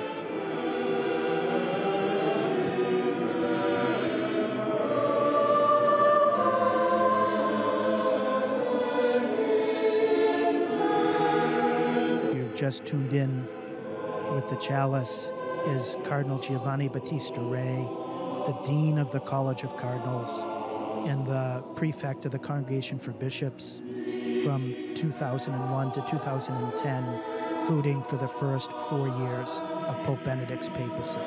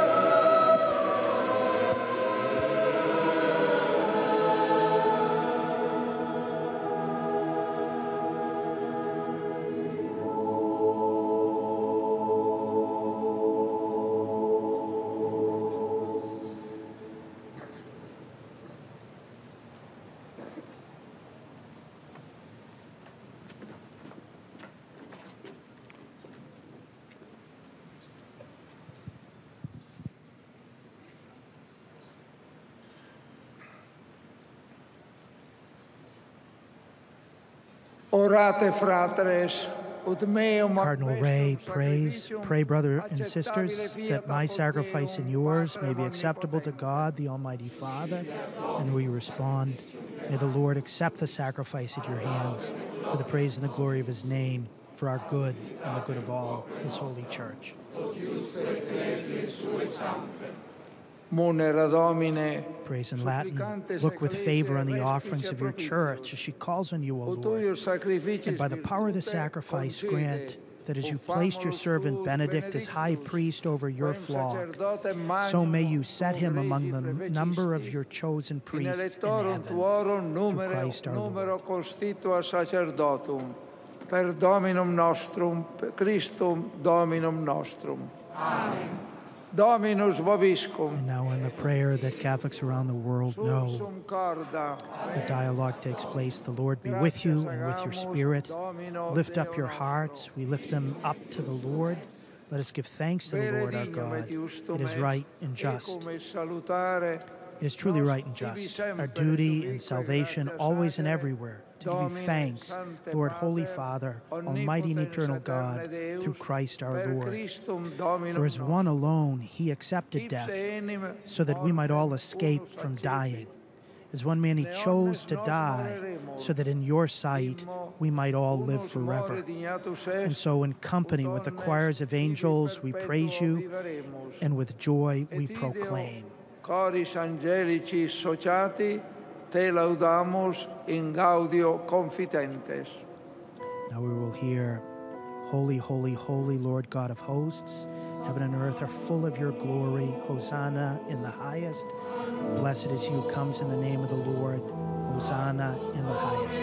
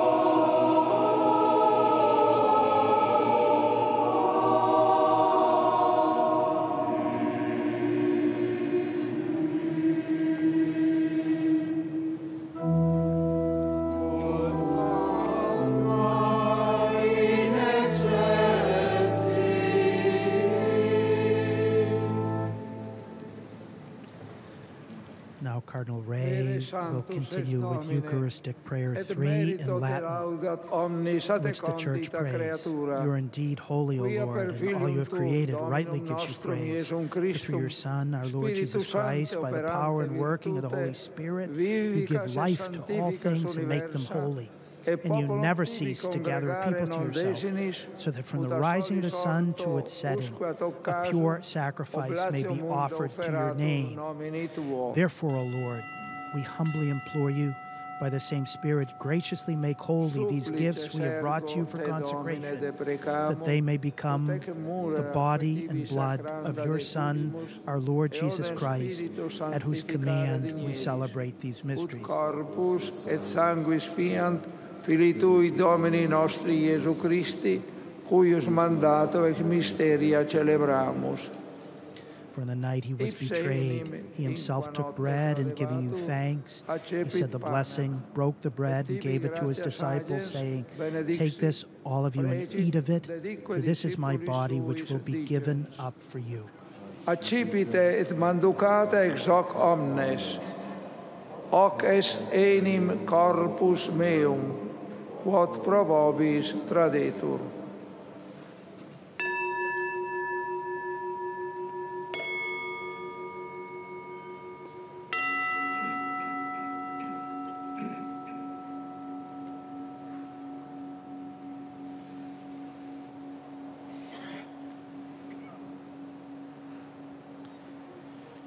Similar way, when supper was ended, he took the chalice and giving you thanks, he said the blessings and gave the chalice to his disciples, saying, Take this, all of you, and drink from it. For this is the chalice of my blood, the blood of the new and eternal covenant, which will be poured out for you and for the many for the forgiveness of sins. enim calix sanguinis mei, novi et eterni testamenti, qui pro vobis et pro multis effundetur in remissionem peccatorum.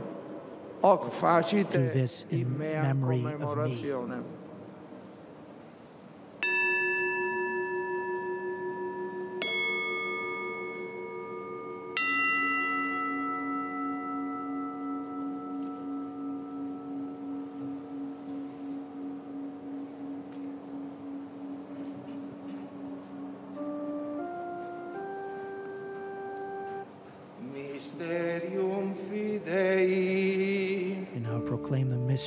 Of faith. And we pray, we proclaim your death, O Lord, and profess your resurrection until you come again. Resurrectionem confidemus.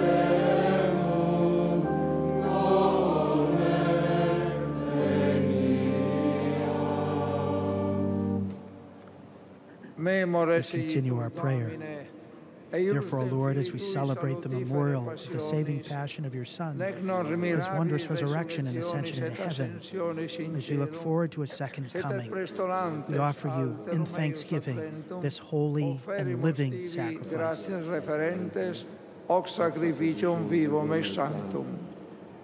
Look, we pray upon the oblation of your church in recognizing the sacrificial victim by whose death you will to reconcile us to yourself. Grant that we, who are nourished by the body and blood of your Son and filled with his Holy Spirit, may become one body, one spirit in Christ. May he make of us an eternal offering to you, so that we may obtain an inheritance with your elect, especially with the most blessed Virgin Mary, Mother of God, with blessed Joseph, her spouse, with your blessed apostles and glorious martyrs, and with all the saints on whose constant intercession in your presence we rely for unfailing help. Cum sanctis Ioanne Baptista et Artemide, et omnibus sanctis, quorum intercessione perpetuo a te confidimus adiuvare. May this sacrifice of our reconciliation, we pray, O Lord, advance the peace and salvation of all the world. Be pleased to confirm in faith and charity your pilgrim church on earth, with your servant Francis, our Pope, the order of bishops, all the clergy, and the entire people you have gained for your own. Cum episcopale ordine et universal clero et omni populo acquisitionis tue. Listen graciously to the prayers of this family whom you have summoned before you. Your compassion, O merciful Father, gather to yourself all your children scattered throughout the world. Remember your servant, Pope Emeritus Benedict, whom you have called from this world to yourself. Grant that he, who is united with your Son in a death like his, may also be one with him in his resurrection, when from the earth he will raise up in the flesh those who have died, and transform our lowly body after the pattern of his own glorious body. To our departed brothers and sisters too, and to all who are pleasing to you at their passing from this life, give kind admittance to your kingdom. There, we hope to enjoy forever the fullness of your glory, when you will wipe away every tear from our eyes. For seeing you, our God, as you are, we shall be like you for all the ages, and praise you without end, through Christ our Lord, through whom you bestow on the world all that is good. Quando omnem lacrimam ab oculis nostris, quia te, es Deum nostrum videntes, tibi similes erimus cuncta per saecula, et te, sine fine, laudabimus.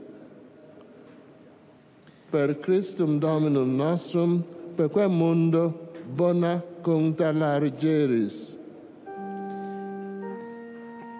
We finish the Eucharistic prayer chanting to God through Christ and with Him and in Him.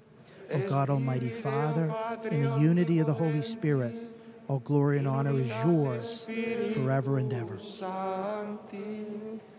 Omnis honor et gloria per omnia saecula saeculorum. The whole Catholic world responds, Amen. Preceptis salutaribus moniti et divina At the Savior's command, informed by divine teaching, we dare to say, we chant together the Pater Noster, the Our Father in Latin.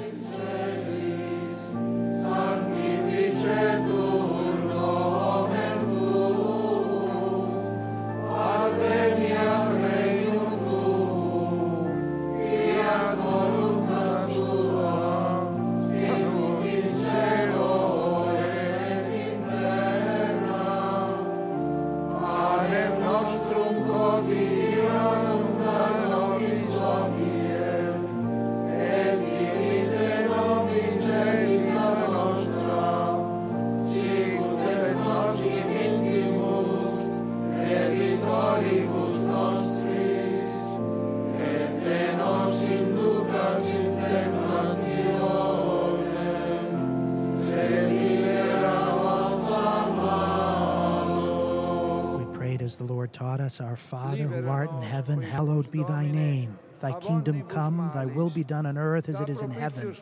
Give us this day our daily bread, and forgive us our trespasses, as we forgive those who trespass against us. And lead us not into temptation, but deliver us from evil. And Cardinal Re finished by praying, Deliver us, Lord, we pray, from every evil. Graciously grant peace in our days, that by the help of your mercy we may be always free from sin and safe from all distress. As we await the blessed hope and the coming of our Savior, Jesus Christ, and we chant, For the kingdom, the power, and the glory are yours, now and forever. Domine Iesu Christe, apostolis tuis, Lord Jesus Christ, you who said to your apostles, Peace I leave you, my peace I give you. Not on our sins, but on the faith of your church, and graciously grant her peace and unity in accordance with your will, who live and reign forever and ever. Qui vivis regnas in saecula saeculorum. Pax Domini sit semper vobiscum. The peace of the Lord be with you always and with your spirit. Let us offer each other the sign of peace. There you see those who cared for Pope Benedict, the Memores Domini, Sisters of Communion and Liberation, and on the right, Archbishop Georg Gänswein, the secretary for many years and good friend and spiritual son of Pope Benedict. Now we sing, Lamb of God, who takes away the sins of the world, have mercy on us. Lamb of God, you take away the sins of the world, have mercy on us. Lamb of God, you take away the sins of the world, grant us peace.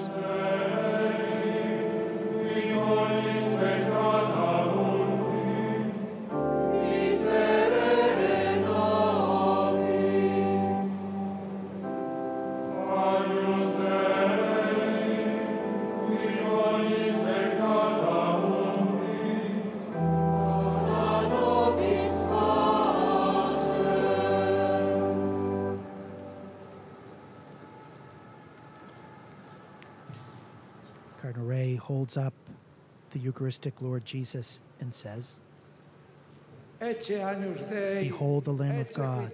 Behold him who takes away the sins of the world. Blessed are those called to the supper of the Lamb. And the church prays, Lord, I am not worthy that you should enter under my roof, but only say the word, and my soul shall be healed.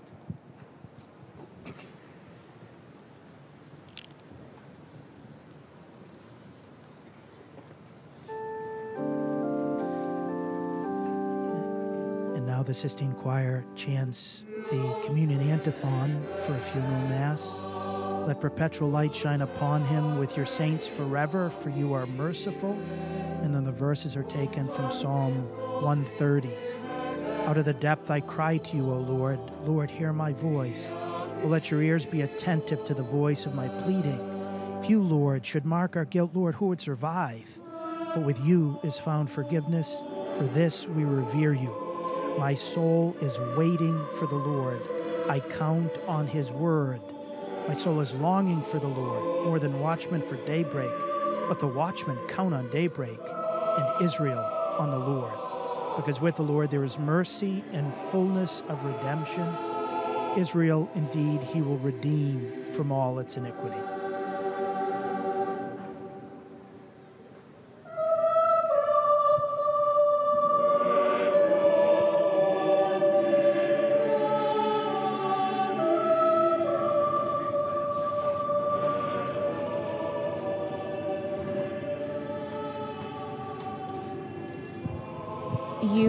Watching EWTN's live coverage of the funeral mass for Pope Benedict XVI here in St. Peter's Square in Rome. It's now the distribution of the Eucharist for our viewers at home. You can offer a spiritual communion to unite yourself to the mass. Um, but during this time, we're just we're going to reflect on what Pope Benedict taught us about this sacrament. He wrote a document on the sacrament, Sacramentum Caritatis, the sacrament of charity. What is it that Pope Benedict XVI, whom we are remembering now, whom we are praying for at this funeral mass, what did he teach us about the sacrament of the Eucharist? In that beautiful document, the sacrament of charity or the sacrament of love, which Jesus used to self identify when he referred to himself in the apparitions to St. Margaret Mary Alacoque in 1675. He said that the Eucharist is a mystery to be believed, a mystery to be celebrated, and a mystery to be lived. Sometimes Catholics can believe that there's greater power in receiving two Advil than in receiving Holy Communion. But Pope Benedict, when he was with the young people in Cologne, Germany for World Youth Day, said to receive Jesus within is like a nuclear reaction that's supposed to take place, that's supposed to transform all of our life, and through that transformation, change the world. He taught over and again that receiving Jesus in Holy Communion is the most consequential thing a human person can do. Uh, Father Roger mentioned about World Youth Day at Cologne. That was one of the few adaptations that Pope Benedict made to World Youth Day from John Paul's model, which was to introduce adoration at that prayer, the nighttime vigil. And that was one of the most impressive things when you have several hundred thousand or a million people in silent adoration of the Most Blessed Sacrament. Uh, in, a, in a way, that was the, um, the heart of Benedict's piety, was Eucharistic piety. And he was a very effective teacher, not just on the doctrine of the Eucharist, but on how to receive communion, uh, how to prepare yourself for communion, uh, how to adore the Lord in Holy Communion. And I have no doubt, Father mentioned earlier about him receiving the sacrament of the sick. Uh, but until he was physically unable, they celebrated mass, and he would have been sustained by the Eucharist in his last uh, in his last days. And we know that uh, he rallied just before the end and was able to have Mass in his room at the Sancta Mater Ecclesiae. One aspect, too, about uh, Sacramentum Caritatis and, and the Eucharistic teachings by Pope Benedict was the stress that he also always placed on the worthiness to receive and the sacrament of penance in preparation for that worthiness to receive. And pulling those sacraments together uh, for Benedict, I think, was also very important he tried to have the whole Catholic world take the gift of the Lord Jesus in holy in the Holy Eucharist seriously. 2005, he went to a place on the east coast of Italy called Bari, where the Italian Eucharistic Congress was taking place. And he there centered his entire homily on a scene from the early church from the year 304 in modern day Tunisia, a place called Abatine. And there, there were 49 Christians who were warned by the local Roman leader that the decree of the Emperor Diocletian had come out that if they were to convene on Sunday morning for the Eucharist, they would be summarily arrested and sent to Carthage to be executed.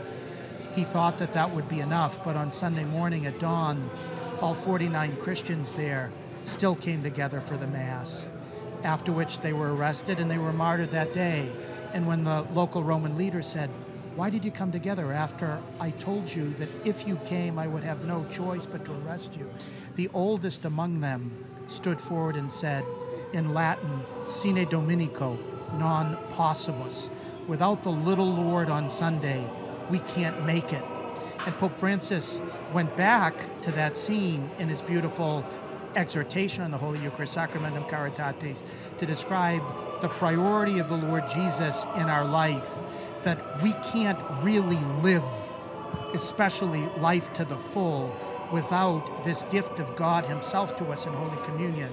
And so more than Pope Francis, more than Pope Benedict here at St. Peter's Square, Jesus Christ, their boss, has come down to feed his beloved flock because Jesus didn't consider any nourishment worthy of the human soul other than himself the, the privilege it is to, to be a priest and to be able to administer the sacrament of the Eucharist. And again, a great reminder how the sacrament of the Eucharist and penance do go hand in hand. I think this is a radical reality of our faith that Pope Benedict taught that we know we're seeing fewer and fewer Catholics share that belief. Um, we've seen the polling, especially in the United States, but again, I think as we're reflecting and remembering Pope Benedict, an opportunity for us all maybe to read his document, Sacramentum Caritatis, to reflect on that. And again, for those who cannot be here, to offer spiritual communion right now, to unite yourself to this Mass, this historic moment in the life of the Church as uh,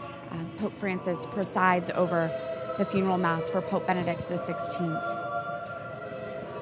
And we'll go back now to our live coverage of the funeral mass of Pope Benedict XVI here at St. Peter's Square.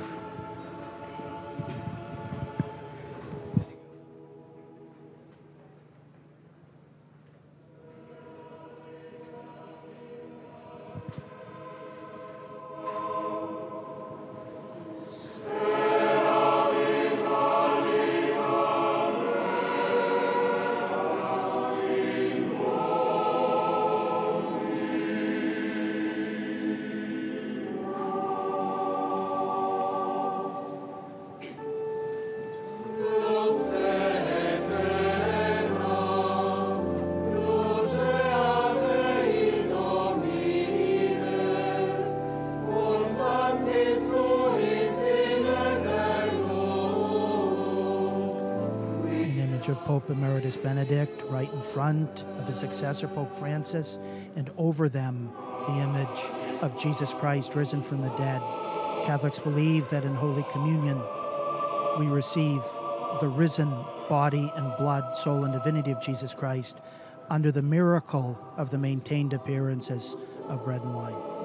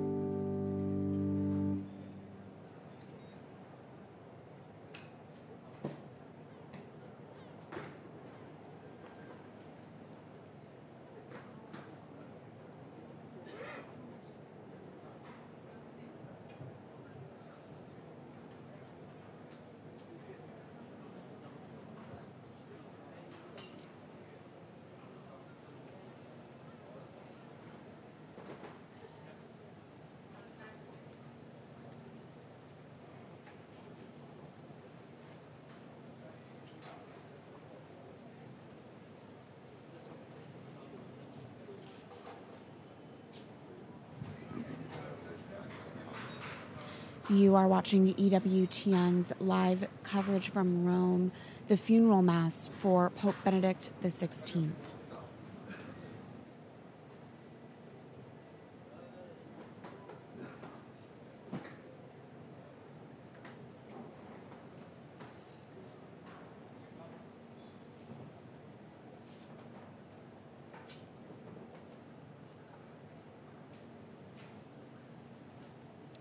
Time of silence at the end of Holy Communion is a time of gratitude in which we turn to the Lord who we've received or for whose reception we have prayed and thank Him for the gift of His presence in the world.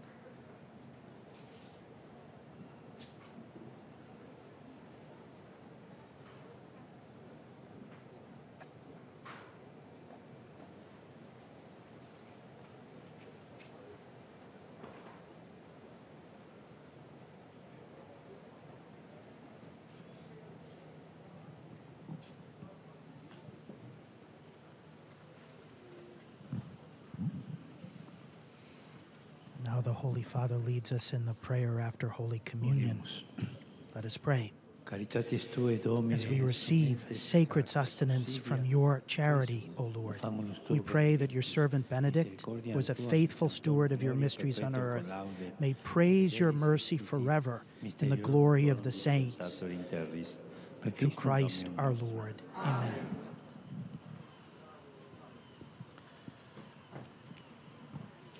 There will be the final commendation and the farewell. Fratres, sororesque carissimi, Dear brothers and sisters, in celebrating the sacred mysteries, we have opened our minds and hearts to joy filled hope. With confidence, we now offer our final farewell to Pope Emeritus Benedict and commend him to God, our merciful and loving Father.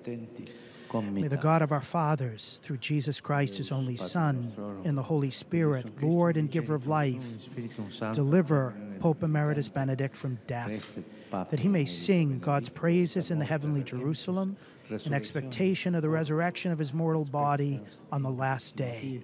May the Blessed Virgin Mary, Queen of the Apostles, and Salus Populi Romani, the salvation, the health of the Roman people, intercede before the Eternal Father, that he may reveal the face of Jesus' Son to Pope Emeritus Benedict, and console the Church on her pilgrimage throughout history as she awaits the Lord's return.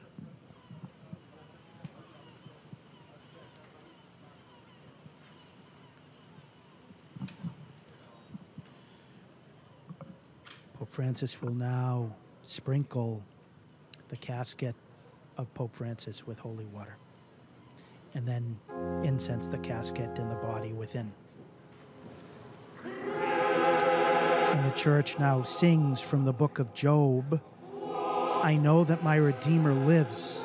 On the last day I shall rise again, and in my flesh I shall see God my Savior. I shall see him myself face to face, and my own eyes shall behold him. And in my flesh I shall see God my Savior. Within my heart I cherish this hope that in my flesh I shall see God my Savior.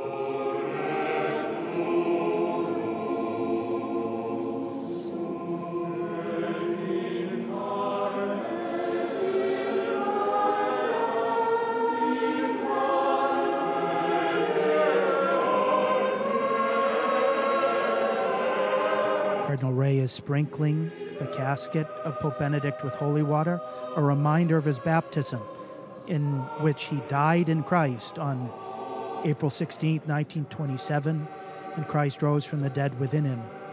The connection between baptism and the funeral mass is very tight. Many of the symbols used on the day of baptism are used in a funeral mass to point to the fact that on the day of baptism, a Christian dies and Christ rises. And that is the foretaste of what death opens us to.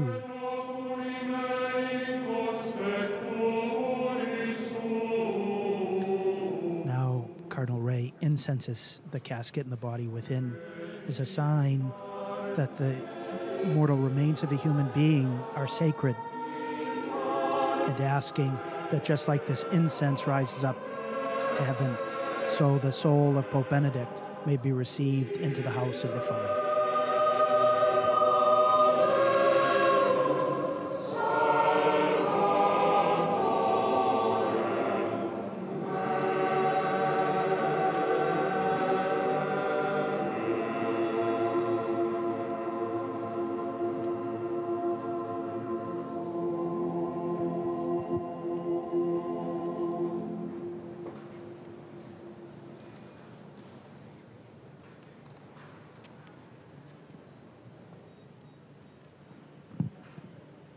Francis prays.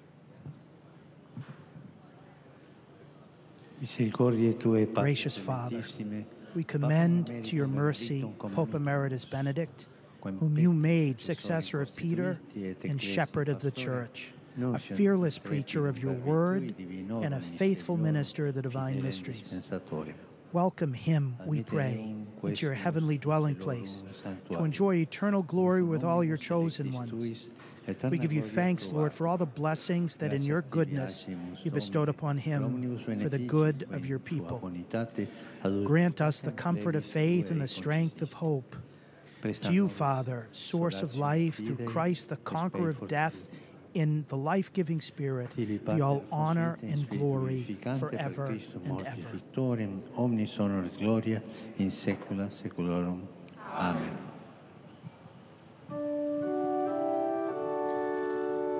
Now the Sistine Choir chants. May the angels lead you into paradise. May the martyrs come and welcome you and take you to the holy city, the new and eternal Jerusalem. May choirs of angels welcome you. With Lazarus, was poor no longer, may you have eternal rest.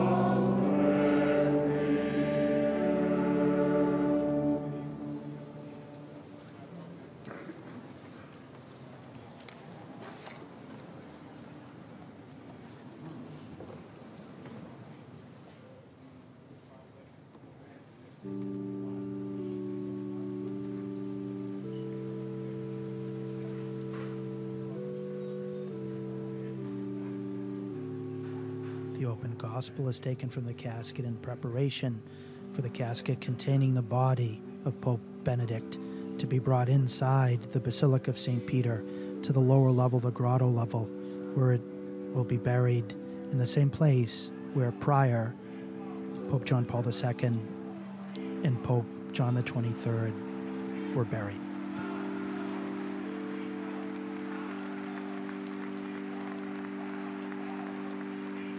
Papal chamberlains are the ones now surrounding the casket who will carry Pope Benedict within the basilica. And the whole church sings together Mary's hymn of praise and thanksgiving to God at the visitation. My soul glorifies the Lord. My spirit rejoices in God, my Savior, for he looks on his servant in her lowliness. Henceforth, all generations will call me blessed. The Almighty works marvels for me. Holy is his name. His mercy is from age to age on those who fear him. Puts forth his arm in strength and scatters the proud hearted. He casts down the mighty from their thrones and raises the lowly. He fills the hungry with good things and sends the rich away empty. He protects Israel, his servant, remembering his mercy, the mercy promised to our fathers, to Abraham and his children forever.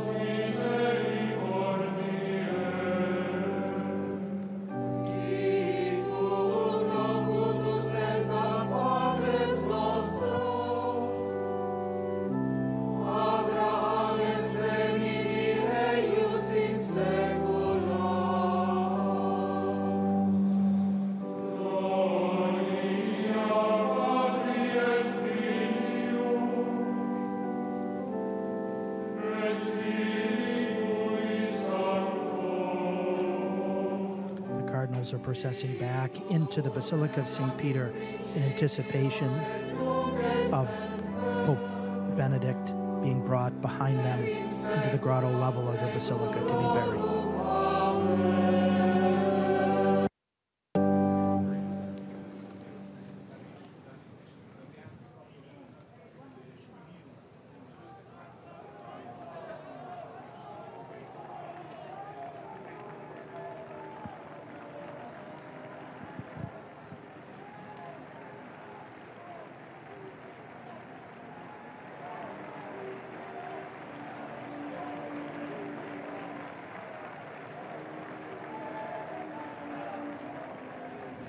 You are watching EWTN's live coverage of the funeral mass for Pope Benedict XVI.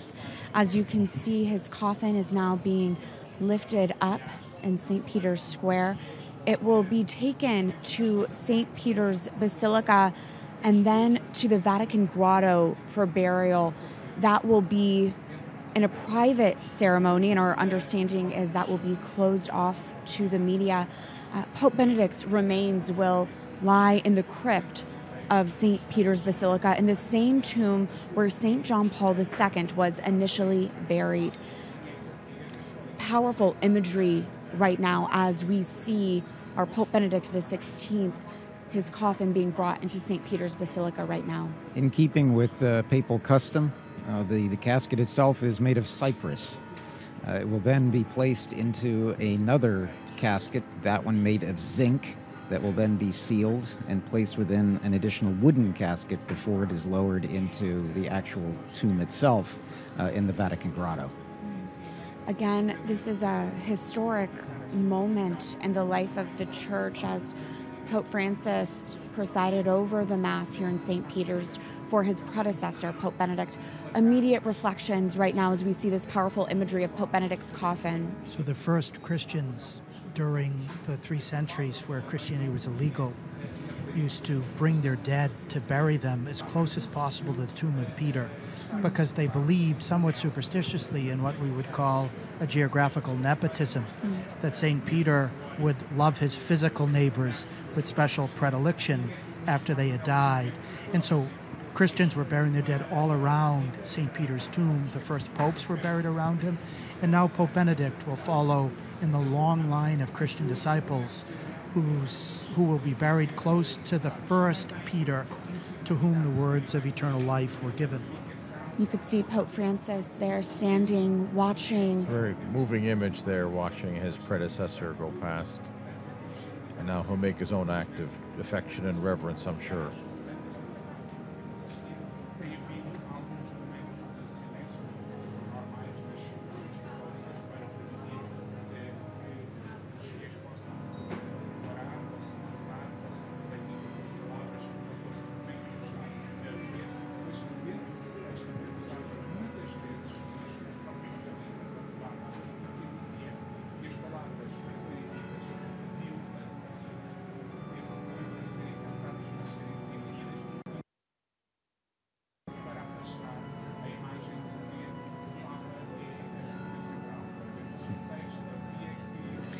You, Pope Benedict, it says there in German.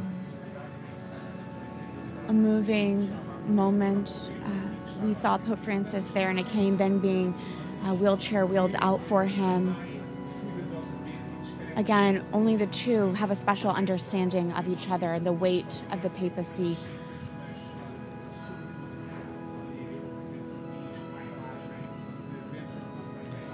There were two official state delegations at the funeral mass, those of Italy and in Germany. And there we can see right now the coffin being lifted of Saint, of Pope Benedict the 16th being brought into St. Peter's Basilica.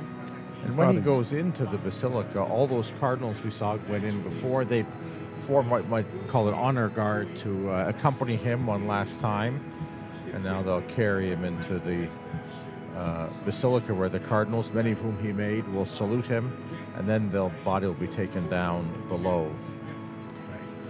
And Father, you were talking about. Um, and you'll see Matthew there. There's the art his secretary there.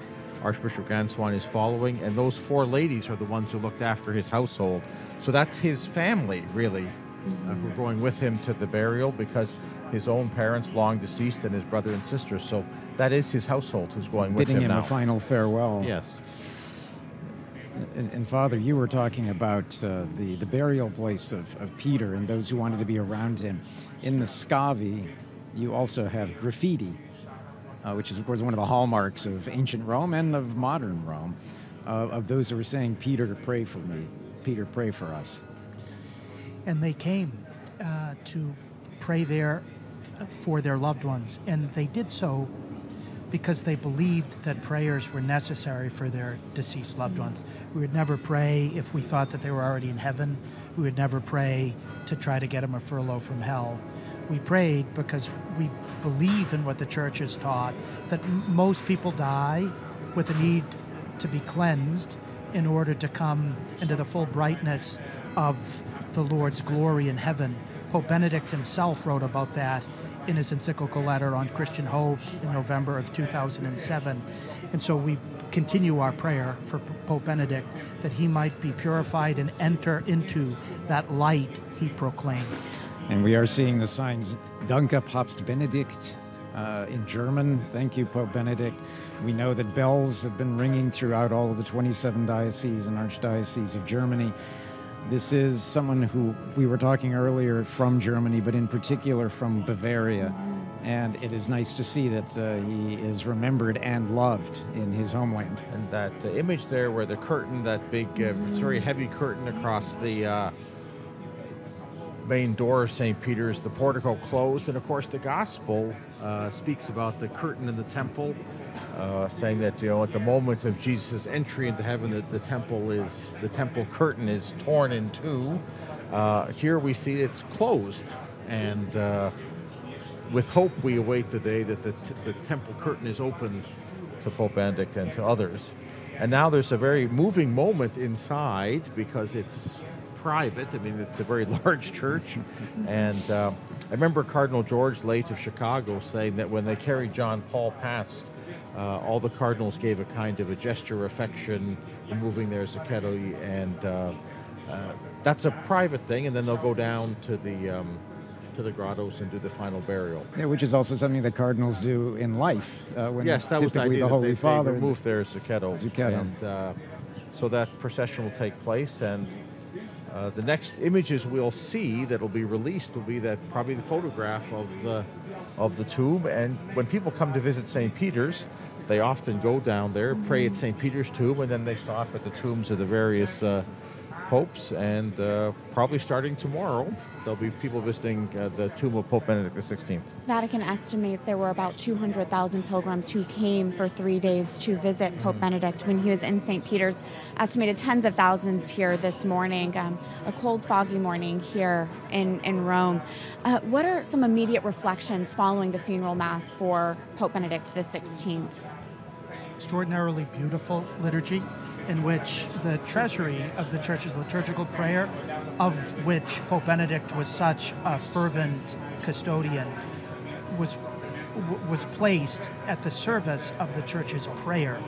The, many of the prayers that were here will be used at our funerals and every funeral that we go to is an opportunity for us likewise to be able to follow in these very footsteps, accompanied by the prayer of the church throughout all the centuries. And so that was the first thing that really touched me today, more than just the funeral mass of a pope.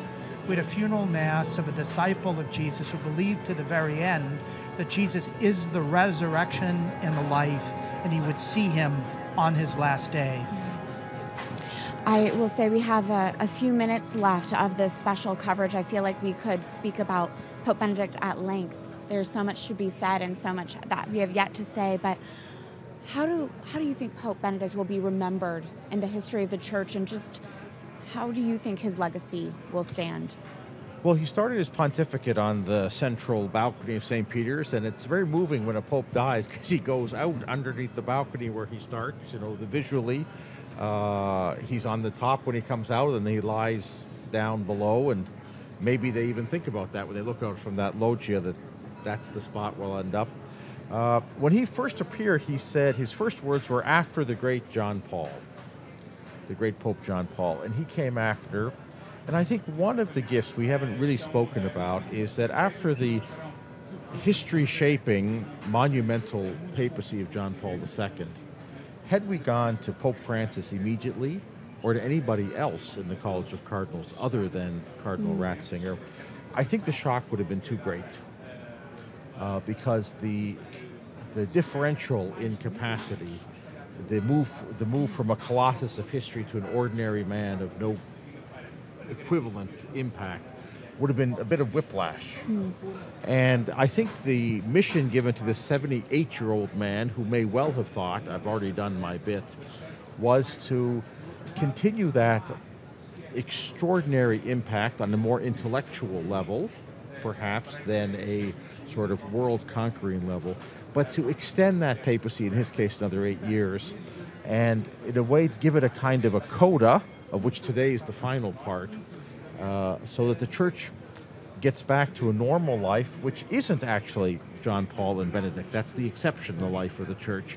And I think that was one of his great services at the end of a long life, uh, was to come after John Paul and and to give that enormous pontificate a proper completion or fulfillment, I would say. Mm-hmm. I likewise, when we look at this, Pope Benedict gave the church a pretty smooth transition Mm-hmm. Normally, as I said a little early this week, when a Holy Father dies, every Catholic in the world feels a little bit orphaned. But today, as we saw at that very end of the service, when Pope Benedict and St. Peter's successor, Pope Francis, blessed and reverenced the casket of his predecessor, we still very much have a Holy Father to lead us today. And so we're grateful, not just for the gift of Pope Benedict to the church, but for the gift of the papacy, which lives still mm-hmm. and keeps the church young and full of joy. Pope Benedict XVI was the first pope to resign in 600 years, to abdicate. There was some concern initially, especially after he passed, that this would be what he's only remembered for. I think this week has given us the, the first opportunity to begin to assess him but then also to reflect on his immense contributions in the history of the church. I, have said it many times now that he is one of the greatest theologians of the 20th century, one of the greatest minds in the history of the church. Pope Francis quoted St. Gregory the Great in his homily today. We've talked about another great pope, uh, Leo I. The church thinks in centuries, and I'm very confident that centuries from now, we will have popes and saints and theologians looking back and quoting Benedict XVI, Joseph Ratzinger, and still deriving from him the great lessons that we've had the benefit of having in mm-hmm. our lifetimes. Mm-hmm. But also then developing, as Benedict did with the fathers of the church and the doctors of the church, that friendship with them. I look forward to the day, and I won't be here, when future theologians and popes look back at Benedict as their friend and carry on the legacy and continue to be grateful for his contributions to the church. One of the things about Father Roger mentioned about the gratitude for the office of Peter, uh, that image we saw, never been seen in the history of the church ever before. Pope Francis reverencing the coffin of his predecessor. Linus didn't do that for Peter, and no one's ever done it ever uh, in that way that's an image of apostolic succession that we never anticipated seeing. But the church grows and lives and uh, develops, and that's an image of apostolic succession that has never been seen. And we were it, it's a it's a grace to see it, not just on the level of human emotion, which it was, you know, moving on a human level, but uh, that's an image of a theological truth that we've never seen before, and that will I think, remain in our memory for some time. Absolutely, an image that's never been seen, and an image we were able to broadcast across the globe, and it has been a privilege to have brought our viewers the funeral mass for Pope Benedict XVI. A privilege to be with you three and to have learned more about Pope Benedict. Um, that concludes our coverage of the funeral mass for Pope Benedict XVI. We will be back tomorrow morning here as to cover the Epiphany Mass. And again, I encourage all viewers to go to ewtn.com slash Benedict to find all the details about our special programming remembering Pope Benedict XVI. God bless you.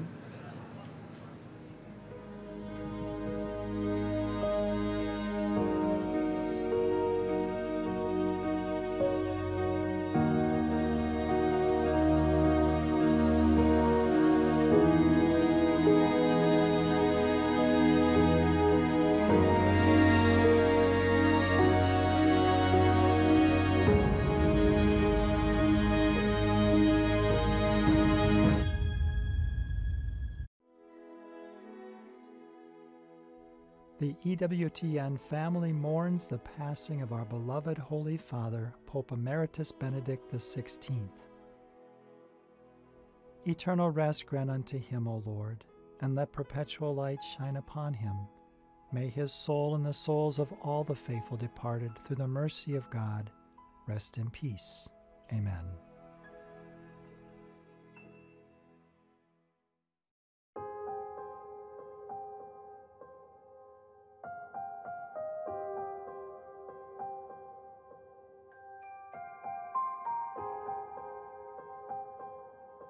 An encyclical is perhaps the best known category of papal document. The name indicates a circular letter after the pattern of the Catholic epistles of the New Testament. An encyclical expresses the mind of the Pope on some matter of faith or morals, and although they may contain fresh insights, they typically do not express new doctrine. Instead, they apply the perennial teaching of the Church to the circumstances of a particular time in history or a particular people. Solemn magisterial teaching, including new dogmatic definitions, are generally given through an apostolic constitution. Thus, encyclicals are the highest ordinary form of papal teaching.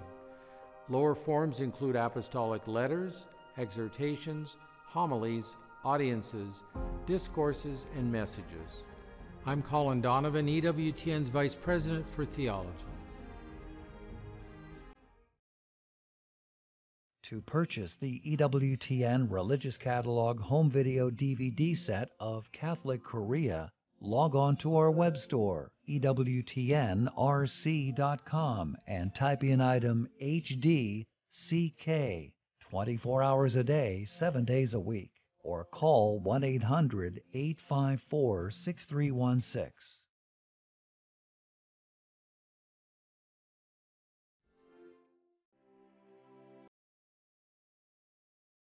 In hearing of the passing of Pope Benedict, I was thinking of his great gift that he gave to us in the Catholic Church, where he asked us to see the beauty of our liturgy.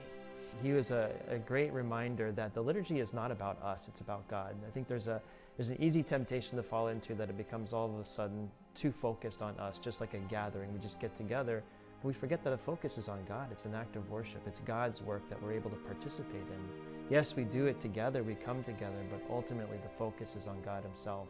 And Pope Benedict XVI did a lot of work to remind us of this. He believed that the liturgy should be presented with all due reverence, solemnity, and devotion.